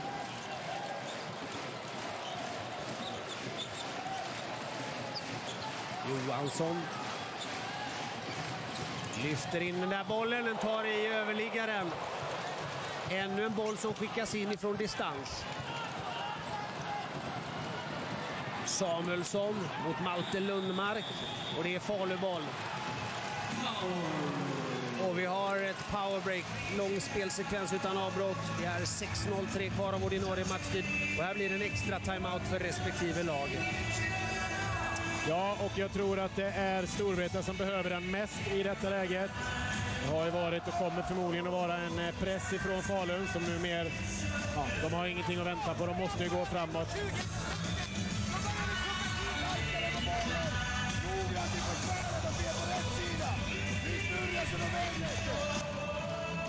Prata i femmorna hur ni vill lösa om ni fortsätter!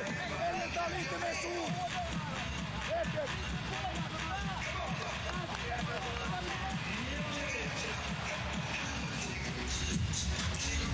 Har vi den här bollen som skickas iväg av Emil Johansson som alltså träffar ribban.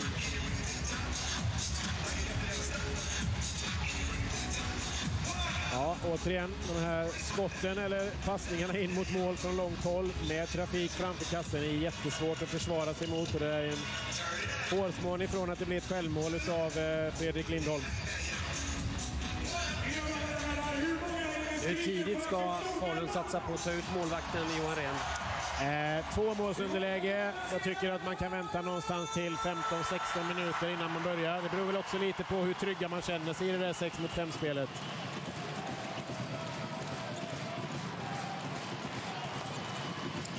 Karlström. Har faktiskt gått mållös ifrån den här finalen. Det kors i taket på det. Än så länge. Exakt. Lång tid kvar. Mo återigen. Skott från distans, en styrning. Götz därefter. Spelar hårt igen. Bra läst där också i försvarsspelet i Storvreta när det kommer en passning i sidled.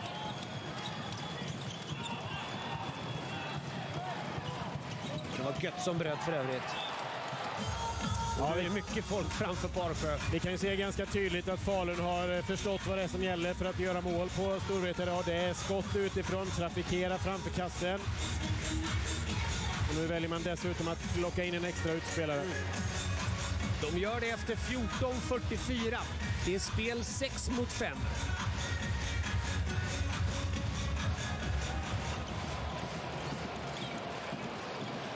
Enström. Rud. Galante Karlström är ensam där inne i boxen. Utav Faluspelarna. Enström. Rud letar efter en lucka. Enström. Nilsen. Där kommer skottet. Nilsen. Bra gjort på returen där utav Galante Karlström. Rud. Johansson platsbyte med Rud. Johansson. Letar den bortre stolpen. Där fanns Malte Lundmark. Enström. Johansson.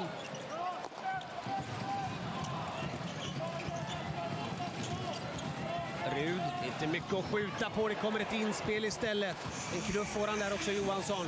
Men det är eh, inte fult spel i den här matchen. Det har varit väldigt, väldigt mycket respekt som sagt var. Och naturligtvis så är Ren tillbaka i kassen. Och nu försvinner han garanterat. Fyra minuter kvar. Enström.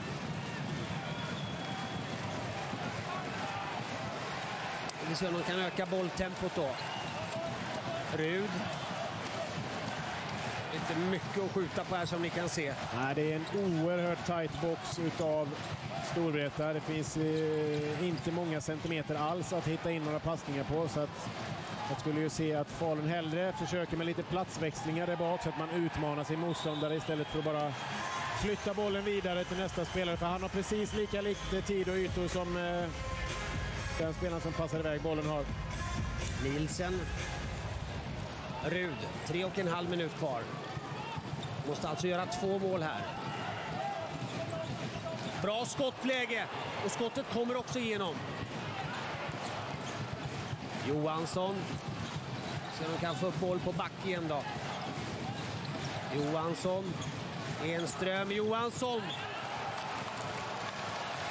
Och det är tacksamt för Storvreta när Johansson väljer att skjuta från den vinkeln. Ja, och de byter eh, precis de här målen som Storvreta har gjort när man bryter centrallinjen. Det är nästan något sånt de måste försöka chansa sig till.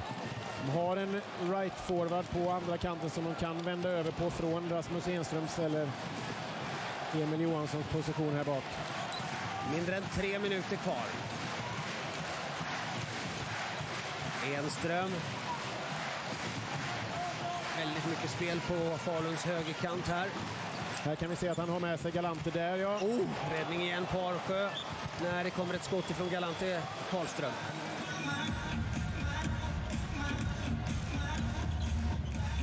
Snabb i sidled den här målvakten i Storvreta. Nilsen. Lundmark. Två och en halv kvar.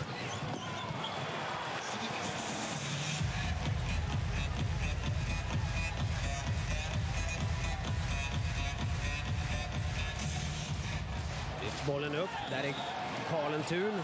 Och det kommer att bli eh, byte här igen. Får vila sina namnkunniga spelare när de har bollen i Storvreta. Falun. Tar in eh, Enström, Johansson, Galante Karlström och de andra igen. Rud! Och ni ser själva, det är 4-5. Ni ser själva, det är 2.15 kvar. Det är en rysare som vi har i den här matchen.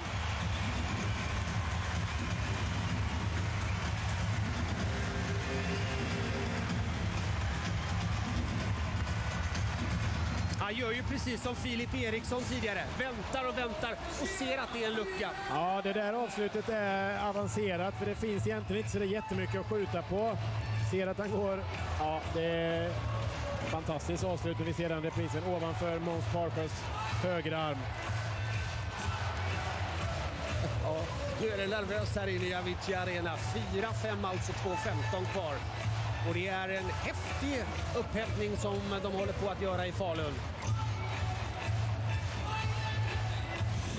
Stefansson kommer in och tekar. Ska ju vara som en ångvält här. Får inte med sig det domslutet. Ren sticker. Två minuter kvar. Sex mot fem spel igen då för Falun. Emil Johansson. Och här är de ju väldigt trygga också i Falun, det märks. Ja, de har ju fått ganska obehindrat stå hålla boll och leta efter de här möjligheterna. Sen är det inte det lättaste att göra det, men det är inte så att Storvreta sätter någon vidare press på någon bollhållare så att de har ganska gott om tid på sig här att lirka upp ett till läge. Johansson. Lundmark. Skjuter han nu då? Lundmark igen. Galante Karlström och framförallt Parsjö. Och det är 1.30 kvar av ordinarie matchtid. Rasmus Sundstedt. Ett långt byte för honom också. Nu går han till offensiv här. Spelar bollen klokt vidare till Helmerich. Kan ju spela hem här till Tobias Gustafsson och värdefulla sekunder tickar iväg här. Bra spelat av Storvreta. Kostov Bredberg med den där bollen i djupled också till Winroth Nelin. Kommer en liten knuff där. Falun kanske kan få med sig domslutet. Det får de också. 1.09 kvar. Tar ut sin målvakt igen och kan sätta press här mot Storvreta. Ja, rutinerat och bra gjort av Backby. Där var Falun illa ute för det gick ganska många sekunder. Man låg lite fel i sina byten. Bra gjort och rutinerat gjort av Backby att ta emot den där knuffen och lägga sig mot sarg. Placerar de Emil Johansson i högerbacksposition. Rud. Mindre än minuter kvar av ordinarie matchtid. Lundmark. Enström. Spelar svårt, vaket där och bra i eh, aktivt klubbarbetet, inte minst ifrån Weidman. Vinner tillbaka bollen där, Lundmark. Och nästan så att det kunde blivit ett fritt läge där för Storvreta. Johansson. Rud. Svårt spelat. En boll i luftrummet där för Lundmark när det är 34 sekunder kvar.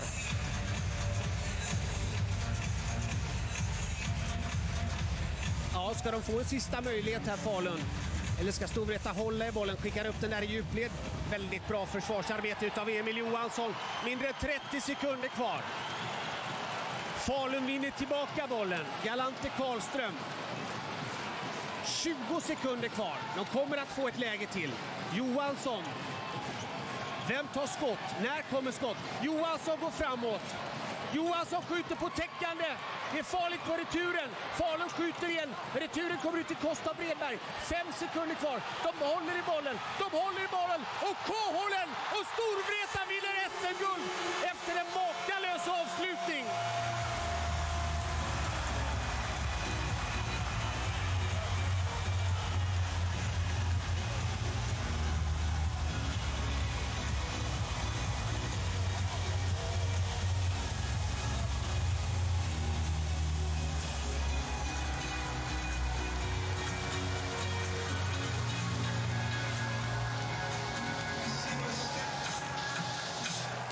vilken final det blev till slut, Kimmo.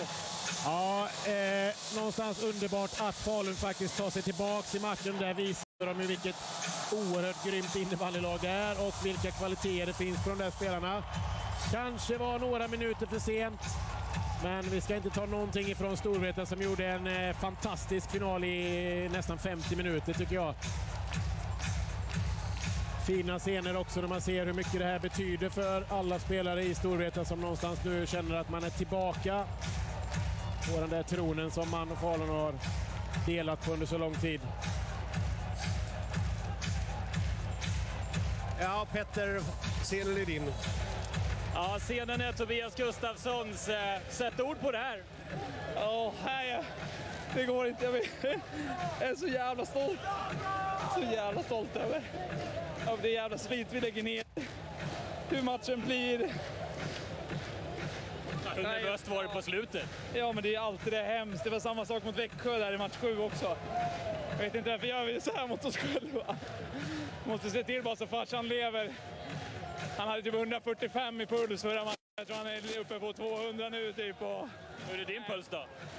Ja, men min puls är väl där uppe någonstans också. Men eh, nej, jag, är så jävla, jag, är så, jag är så stolt över, eh, över det vi gör. Ja, nej, det, ja, ja. Kan man få ett guldvrål? Ja, självklart. Ja!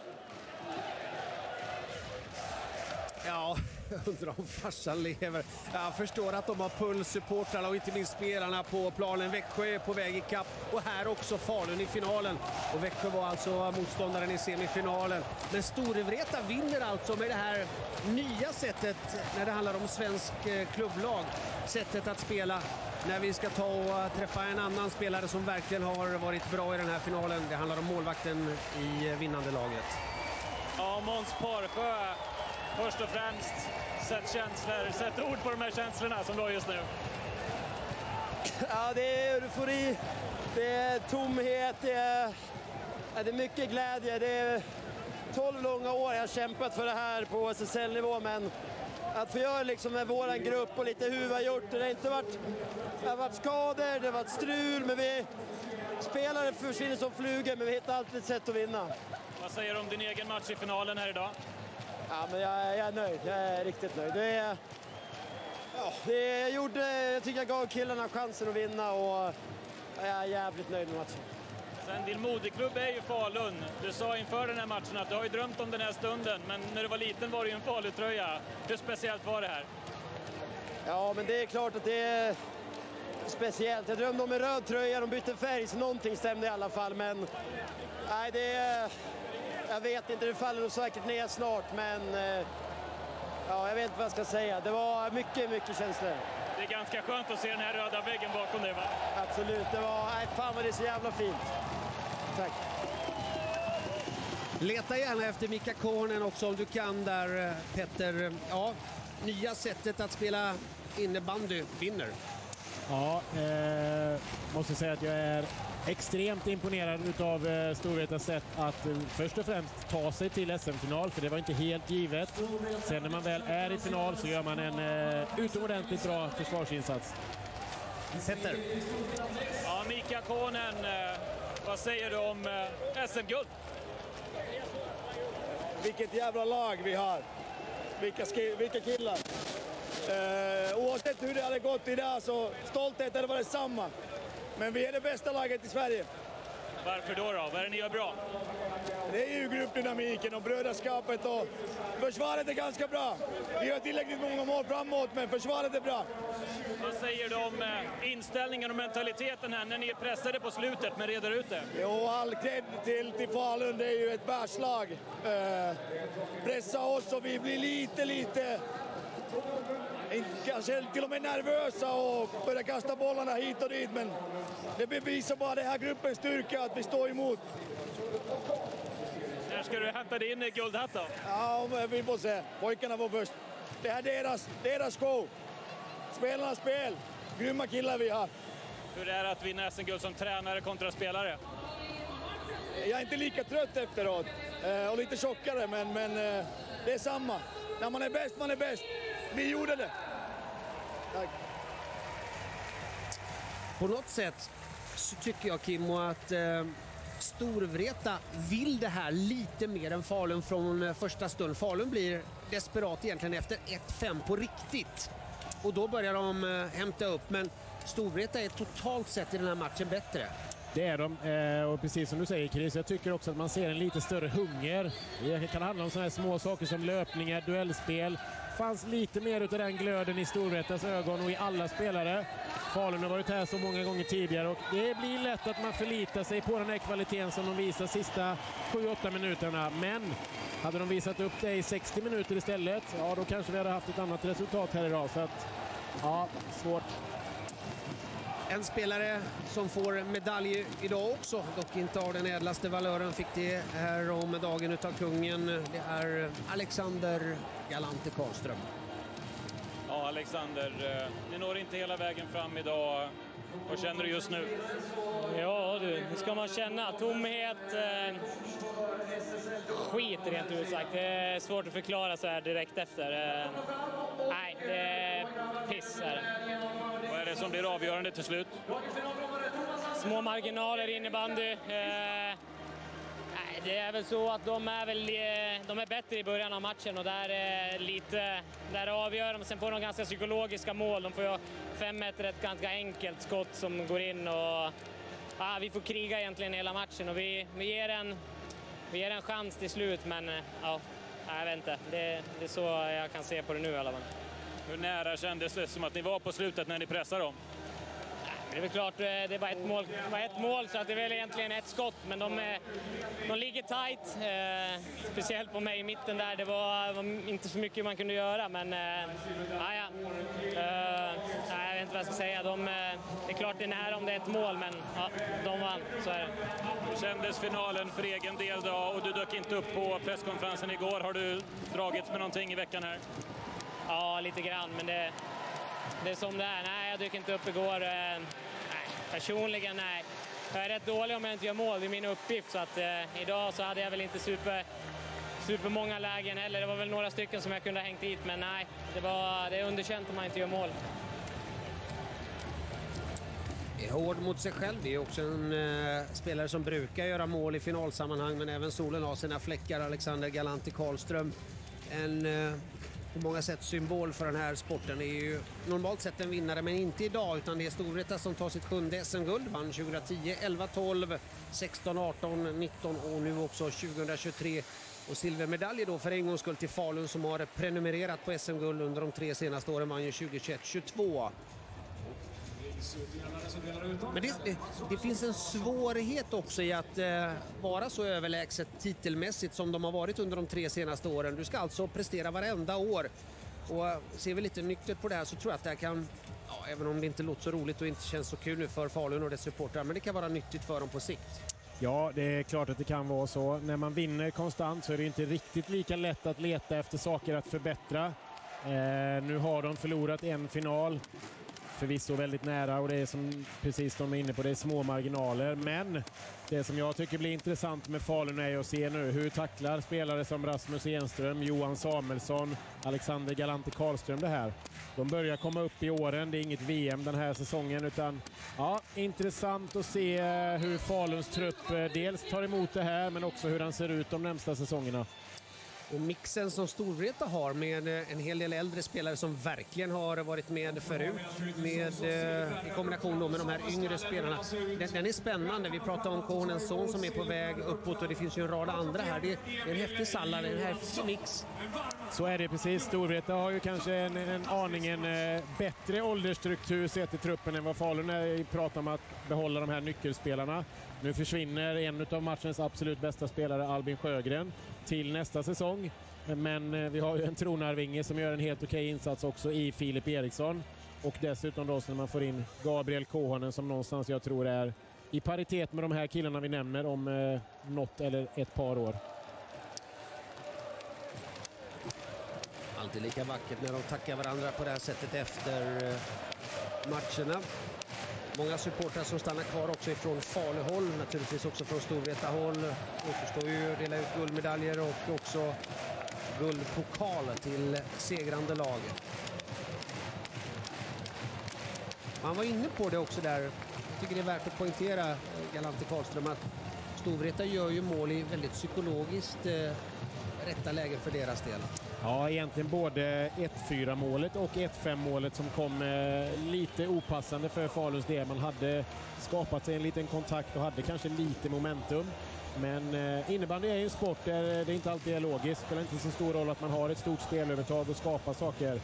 Minsta lilla felpass eller felstuds eller ett skott som byter riktning så är det mål i andra buren istället. Så eh, de här psykologiska målen blir ju någonstans avgörande här idag ihop med att Storvretas försvarsspel var briljant under stora delar. Samuelsson gör comeback och vinner SM-guld igen och så Niklas Winroth Nelin då som blev pappa i förrgår och så får vinna här. Snacka om win-win. Ja, och jag spanade faktiskt in just de två killarna du nämner på planen efteråt. Och det är klart att det finns en stor glädje, men i, i Mattias fall så såg det mest ut som någon sån här form av lättnad. Han hoppade in under säsongen och är ju eh, såklart oerhört lycklig över att det får sluta på det här sättet.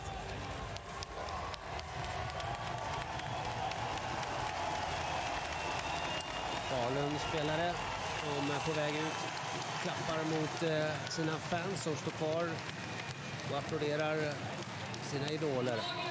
När det ska delas ut eh, guldmedaljer då till allsvenska mästaren Storvreta. Och vad är det som gör att de här två lagen ligger så långt före de andra med tanke på SM-gulden som har varit sedan 2010 för just eh, Storvreta och Falun?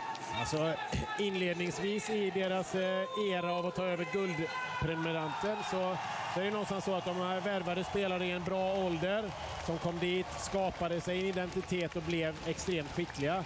Det är ju den här generationen vi precis pratade om. I, i Faluns del så är det ju Galante, Enström med flera. Storvretens fall så har de ju genomgått någon form av generationsväxling och ändå lyckats få dit spelare av väldigt hög kaliber. Man tog ju in Tobias Gustafsson någonstans när kanske Mattias Samuelsson var på väg ut. Han har tagit över och lett det här laget. Och det, det är ju små parametrar, men det är klart att tittar man på hur landslagstrupperna har sett ut under många år också så är det ju spelare från de här två trupperna som har dominerat. Så att eh, bra spelare gör bra saker helt enkelt. Ja, det är tårar av glädje och det är också eh, tårar av eh, annan kaliber, karaktär. Inte minst Malte Lundmark går ut nu oerhört besviken och ledsen på väg ut i omklädningsrummet. Och Tobias Gustafsson hörde och såg vi för en stund sedan. Han gör en fenomenal final, inte minst i det defensiva spelet. Massor av skottteck. Ja, Tobias Gustafsson är alltid bra i de här stora, tunga matcherna när det blir annat än eh, vanlig serielunk. Hans fysik kommer ju väl till sin eh, rätt då, samtidigt som han faktiskt är med i uppbyggnaden av ett antal mål. Och den formationen med honom där bak och så Filip Eriksson och Albin Sjögren framåt var ju briljant långa stunder idag faktiskt. Mm. Och gjorde också mål i matchen, 5-1 målet Tobias Gustafsson. Så har de samlat eh, sig bakom den där skylten. Det står svenska mästare 2023. De sista guldmedaljerna ska delas ut innan det är tid för eh, lagkaptenen då att komma fram och hämta pokalen.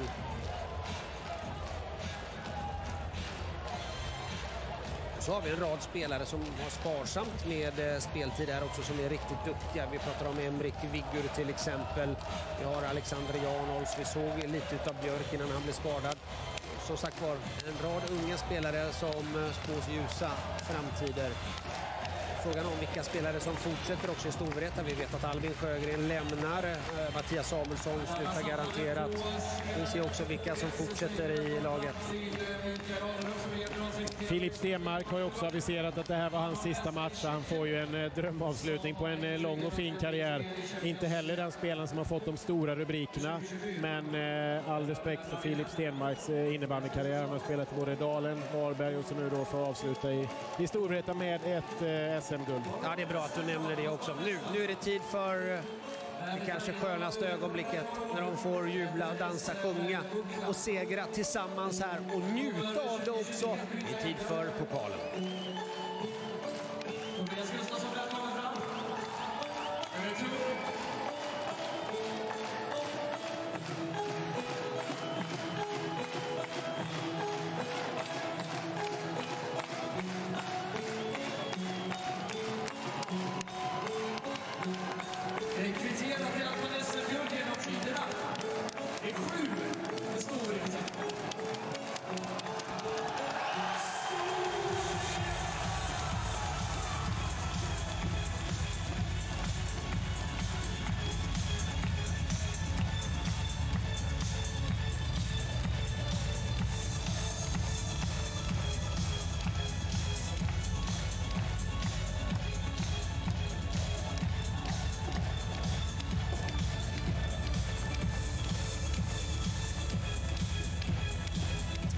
Innan vi lämnar till studion, låt mig bara säga det att när de här båda lagen möts i eh, finalsammanhang så kan du nästan se ganska tidigt i en match eh, vilket lag som har störst chans att vinna för de har prenumererat så mycket på segrar och idag var det helt enkelt Storvreta som ville lite mer, hade större kompetens och kapacitet och gjorde det oerhört bra. Men vilken avslutning utav Falun och vi tackar för underhållningen när vi nu också lämnar ner till programledarposition och ska få lite avslutande kommentarer därifrån. Stort grattis till Storvreta!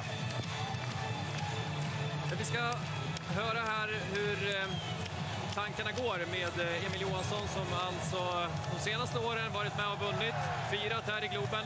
Men nu så räcker ditt lag inte riktigt till, även om det blev extremt, ja, det blev extremt tajt här på slutet.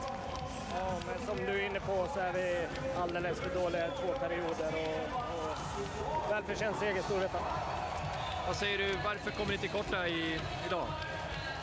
Men jag tycker vi är ganska bekväma utsida. De får jobba med sitt starka försvar och vi kommer inte in, in på mål på samma sätt som vi när vi tutar och kör i tredje. Eh, där går vi, skapar vi någon form av kaos bara, bara för att få lite energi av saker och ting. Men nej, i, det, i schackspelet så vinner de idag. Och ni gör de tre senaste målen så att ni kommer ju tillbaka ändå och skapar. Eh, vad säger du om eh, Parsjös insats i målet? Han, eh, han är duktig. Han tar ju de där extra räddningarna idag som Är han den stora skillnaden skulle du säga? både ja och nej. Jag tycker ändå vi, vi inte är där, där vi ska vara och det, det är för dåligt helt enkelt. Vad behöver komma upp skulle du säga för att ni ska vara vinnare här idag? Ja, men komma in på mål på ett bättre sätt. Vi är alldeles för veka i period 1 och 2 i duellspelet och där vinner de mycket dueller som de kan spelvända på och göra mål på. Så ett Storvreta med ett starkt försvar som är bra på att spelvända, då blir det jobbigt till slut. Och ni är ju ett lag där det finns mängder utav spelare med landslagsrutin.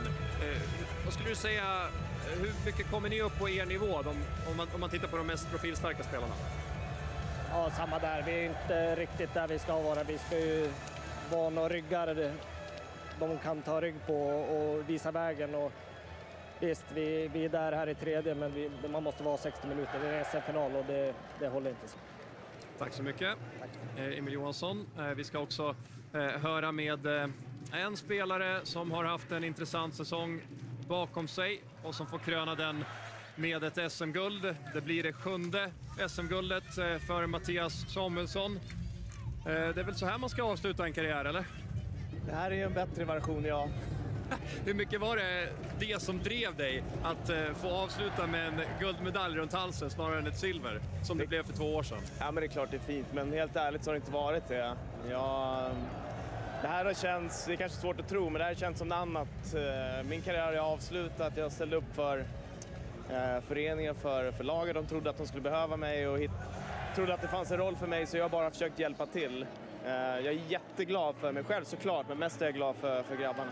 Hur mycket eh, känslor var det på slutsignal här när det, när det blev ett guld? Det såg ut som att du var ganska tagen. Ja, men det blir tufft. Det ju, um, går man in i någonting så går man in i helhjärtat. Det blir ju um, allt på något sätt. Det är ju höjden av lycka att få, att få när slutsignalen går. Det är så jäkla härlig känsla. Hur mycket känslor och vad for genom skallen där i slutet av matchen för att de eh, åt sig ikapp och det var, det var en hårsmån ifrån att det utjämnades? Ja, men det är tufft såklart när de eh, spelar 6 mot 5 på slutet. Vi får jobba väldigt, väldigt hårt, långa stunder i egen försvarszon. På något sätt tycker jag vi är starka, vi håller dem utanför oss. Det är klart att det kommer komma skott och till slut så går de in, så pass skickliga är de. Men jag tycker vi vinner rättvist. Du var inne på det, vad du tillfört. Alltså, de såg ju någonting i dig. Kohonen bad dig att eh, ansluta till laget. Vad exakt är det du har tillfört? Då? Vad var det de ville ha ut av dig?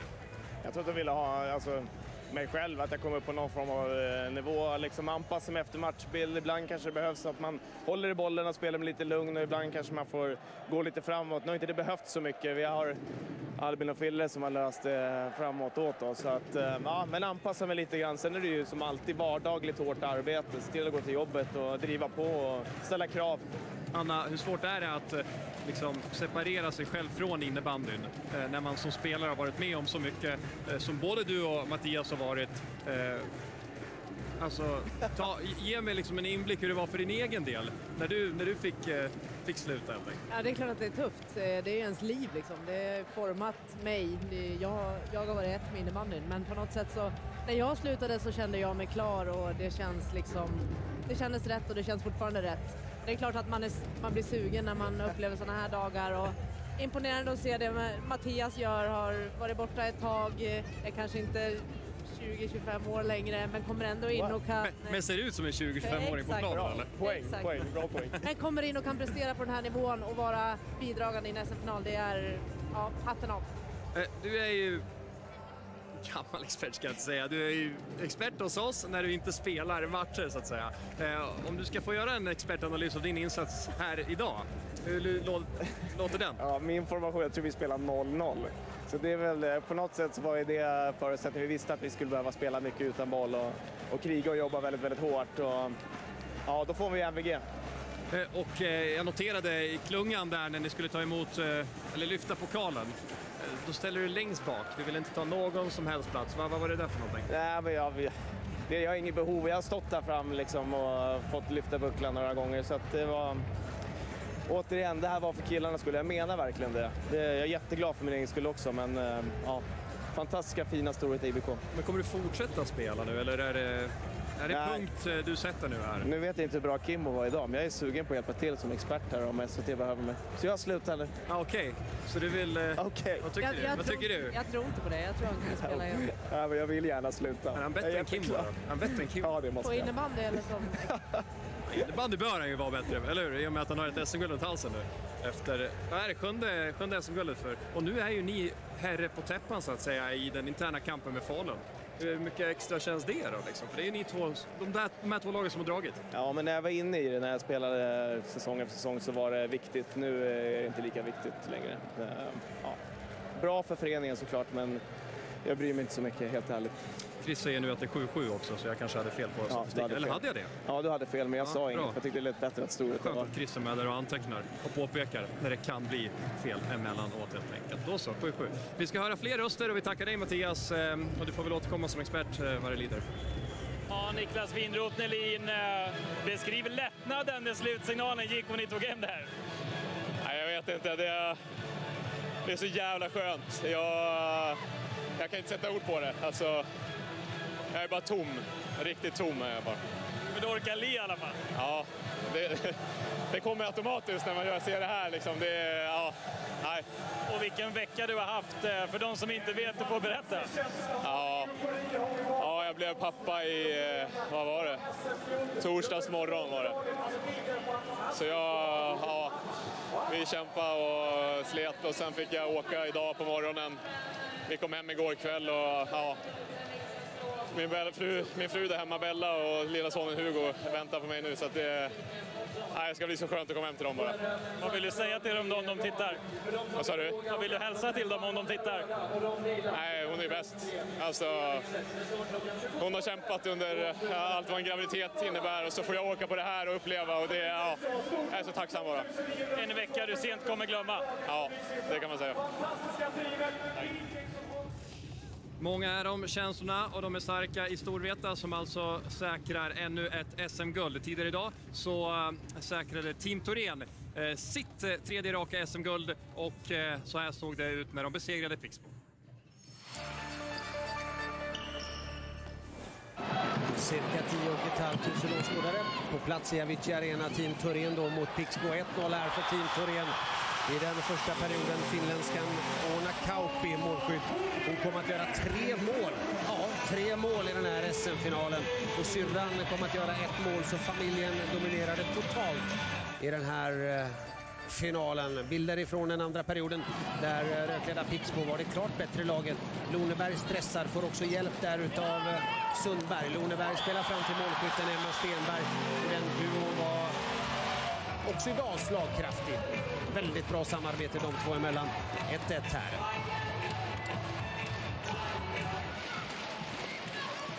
Titta på det här ifrån Amanda Berggren spelar fram till målskytten Caroline Adelöv. Och det är 2-1 för Pixbo och vild glädje naturligtvis. Pixbo som förtjänade ledningen här. Vackert avslut uppe i krysset, bortre hörnet där bakom duktiga målvakten Lovisa Hedin. Ett misstag här ifrån Pixbo. Det blir kostsamt och Una Kauppi är framme igen och gör 2-2 i den andra perioden.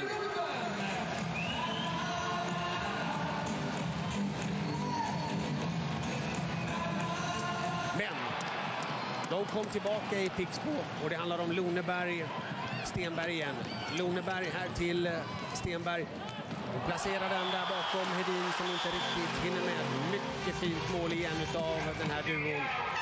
Och tvåmålsskytt i finalen alltså, Emma Stenberg. Matchens vackraste mål ja, kommer här. Vilken prestation! Underbart nummer där utav Vera Kauppi. Oj, oj, oj.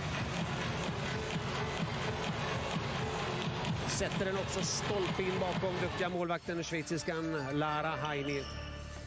Och så då den tredje avslutande perioden. Vera Kauppi spelar fram till syrran på gränsen till hög klubba, kanske till och med för hög klubba. Målet godkänns och Ola Kauppi gör alltså 4-3. Och det här är det enda målet som tillkommer i den eh, tredje perioden. Och än en gång så blir Team Torén eh, svenska mästare. Vann 2021, vann 2022 och vann också 2023 efter finalseger 4-3 mot Pixbo. Stort grattis till Team Torén. Team Torén, svenska mästare också på damsidan. Varför var de bäst? Eh, Jag tycker att de, eh, sett över 60 minuter så är de bättre än Pixbo idag. Deras spets avgör, även om det är otroligt tajt som resultatet visar. Pixbo ger det verkligen chansen, men Thoréns spets avgör. Hur upplevde du den matchen? Nej, men precis som Anna är inne på, det är ju systrarna Kauppi som eh, fäller avgörandet idag. De står ju för insatser som inte någon annan i Pixbo gjorde och eh, alla fyra målen säger väl sitt tydliga språk. Och då vill du så, såklart höra en av systrarna Kauppi. Ja, Ona, du hör eh, fansen bakom här. Beskriv vad du känner just nu. Ja, alltså, ja, det här är verkligen mäktigt. Och det här krön, ja, alltså, det är jättekänt och jag tycker det var en jättekul match och jag tycker att vi förtjänar också vinna till slut. Eh, Och vi gjorde det här tillsammans med laget. Vad är det som gör att ni vinner till slut då? Jag tycker att från början vi skapar hela tiden bättre och bättre och till slut vi försvarar sista perioden jättebra. Så jag tycker att det var försvarsspelet som avgjorde sista perioden till oss. Och för egen del, den här gången är det du som kliver fram med tre mål. Sätt ord på den känslan. Ja, nu jag kan avslöja att eh, jag pratade med David Jansson, vår tränare, innan eh, den här matchen och han sa till mig att ge, ge dig chansen att göra fyra mål. Och det var mitt tanke hela tiden där på bakgrunden. Så jag gjorde inte fyra mål, men jag gjorde tre och jag tycker det var ganska bra gjort av mig. Ja, det är ganska bra det också, det får man vara nöjd med. Ja, absolut. Nu ska jag vill bara fira med laget och ja, alltså jag är jättestolt över hela laget. Tack. Det har varit massor av känslor den här eh, dagen. På damsidan så var det systrarna Kauppi som var tungan på vågen och Ona Kauppi, hattrick i en final. Det är någonting att ta med sig framöver. Här. Ja, verkligen hatten av. Det är... Vilket minne va? Ja, men det är få som klarar av att göra den prestationen. Så att det, är, eh, ja, det är svårt att, att sätta ord på, men otroligt bra gjort av henne. Hörrni, vad tar ni med er från eh, herrfinalen då? Det sista vi fick uppleva här. Du först. Eh, någonstans grymt imponerad av Storvretas insats, framförallt de 50 första minuterna när jag tyckte att Falun hade ja, men i stort sett eh, ingen chans att ta sig in centralt och skapa målchanser. Det var ju egentligen sista tio som de kom tillbaka i matchen. Så att, välförtjänt och imponerande gjort utav Storvreta. Tänk att det alltid blir sånt drama när de här två lagen drabbas samman. Ja, men så härligt. Två superhärliga matcher har vi fått uppleva och eh, jag vill lyfta Storvretas första femma. Vilken match de gör. Eh, Filip Eriksson och Albin Sjögren. Wow. Wow, säger vi efter dagens begivenheter här närmast i vår, våra kanaler, eller i den här kanalen, så väntar eh, dokumentären Mästarlivet, eh, den första utav eh, tre delar som vi har gjort här i Sveriges Television och det handlar om att vi har följt regerande mästaren, svenska mästaren Rosengård i deras satsning mot Champions League. Nu säger vi hej då ifrån Avicii Arena och på återseende.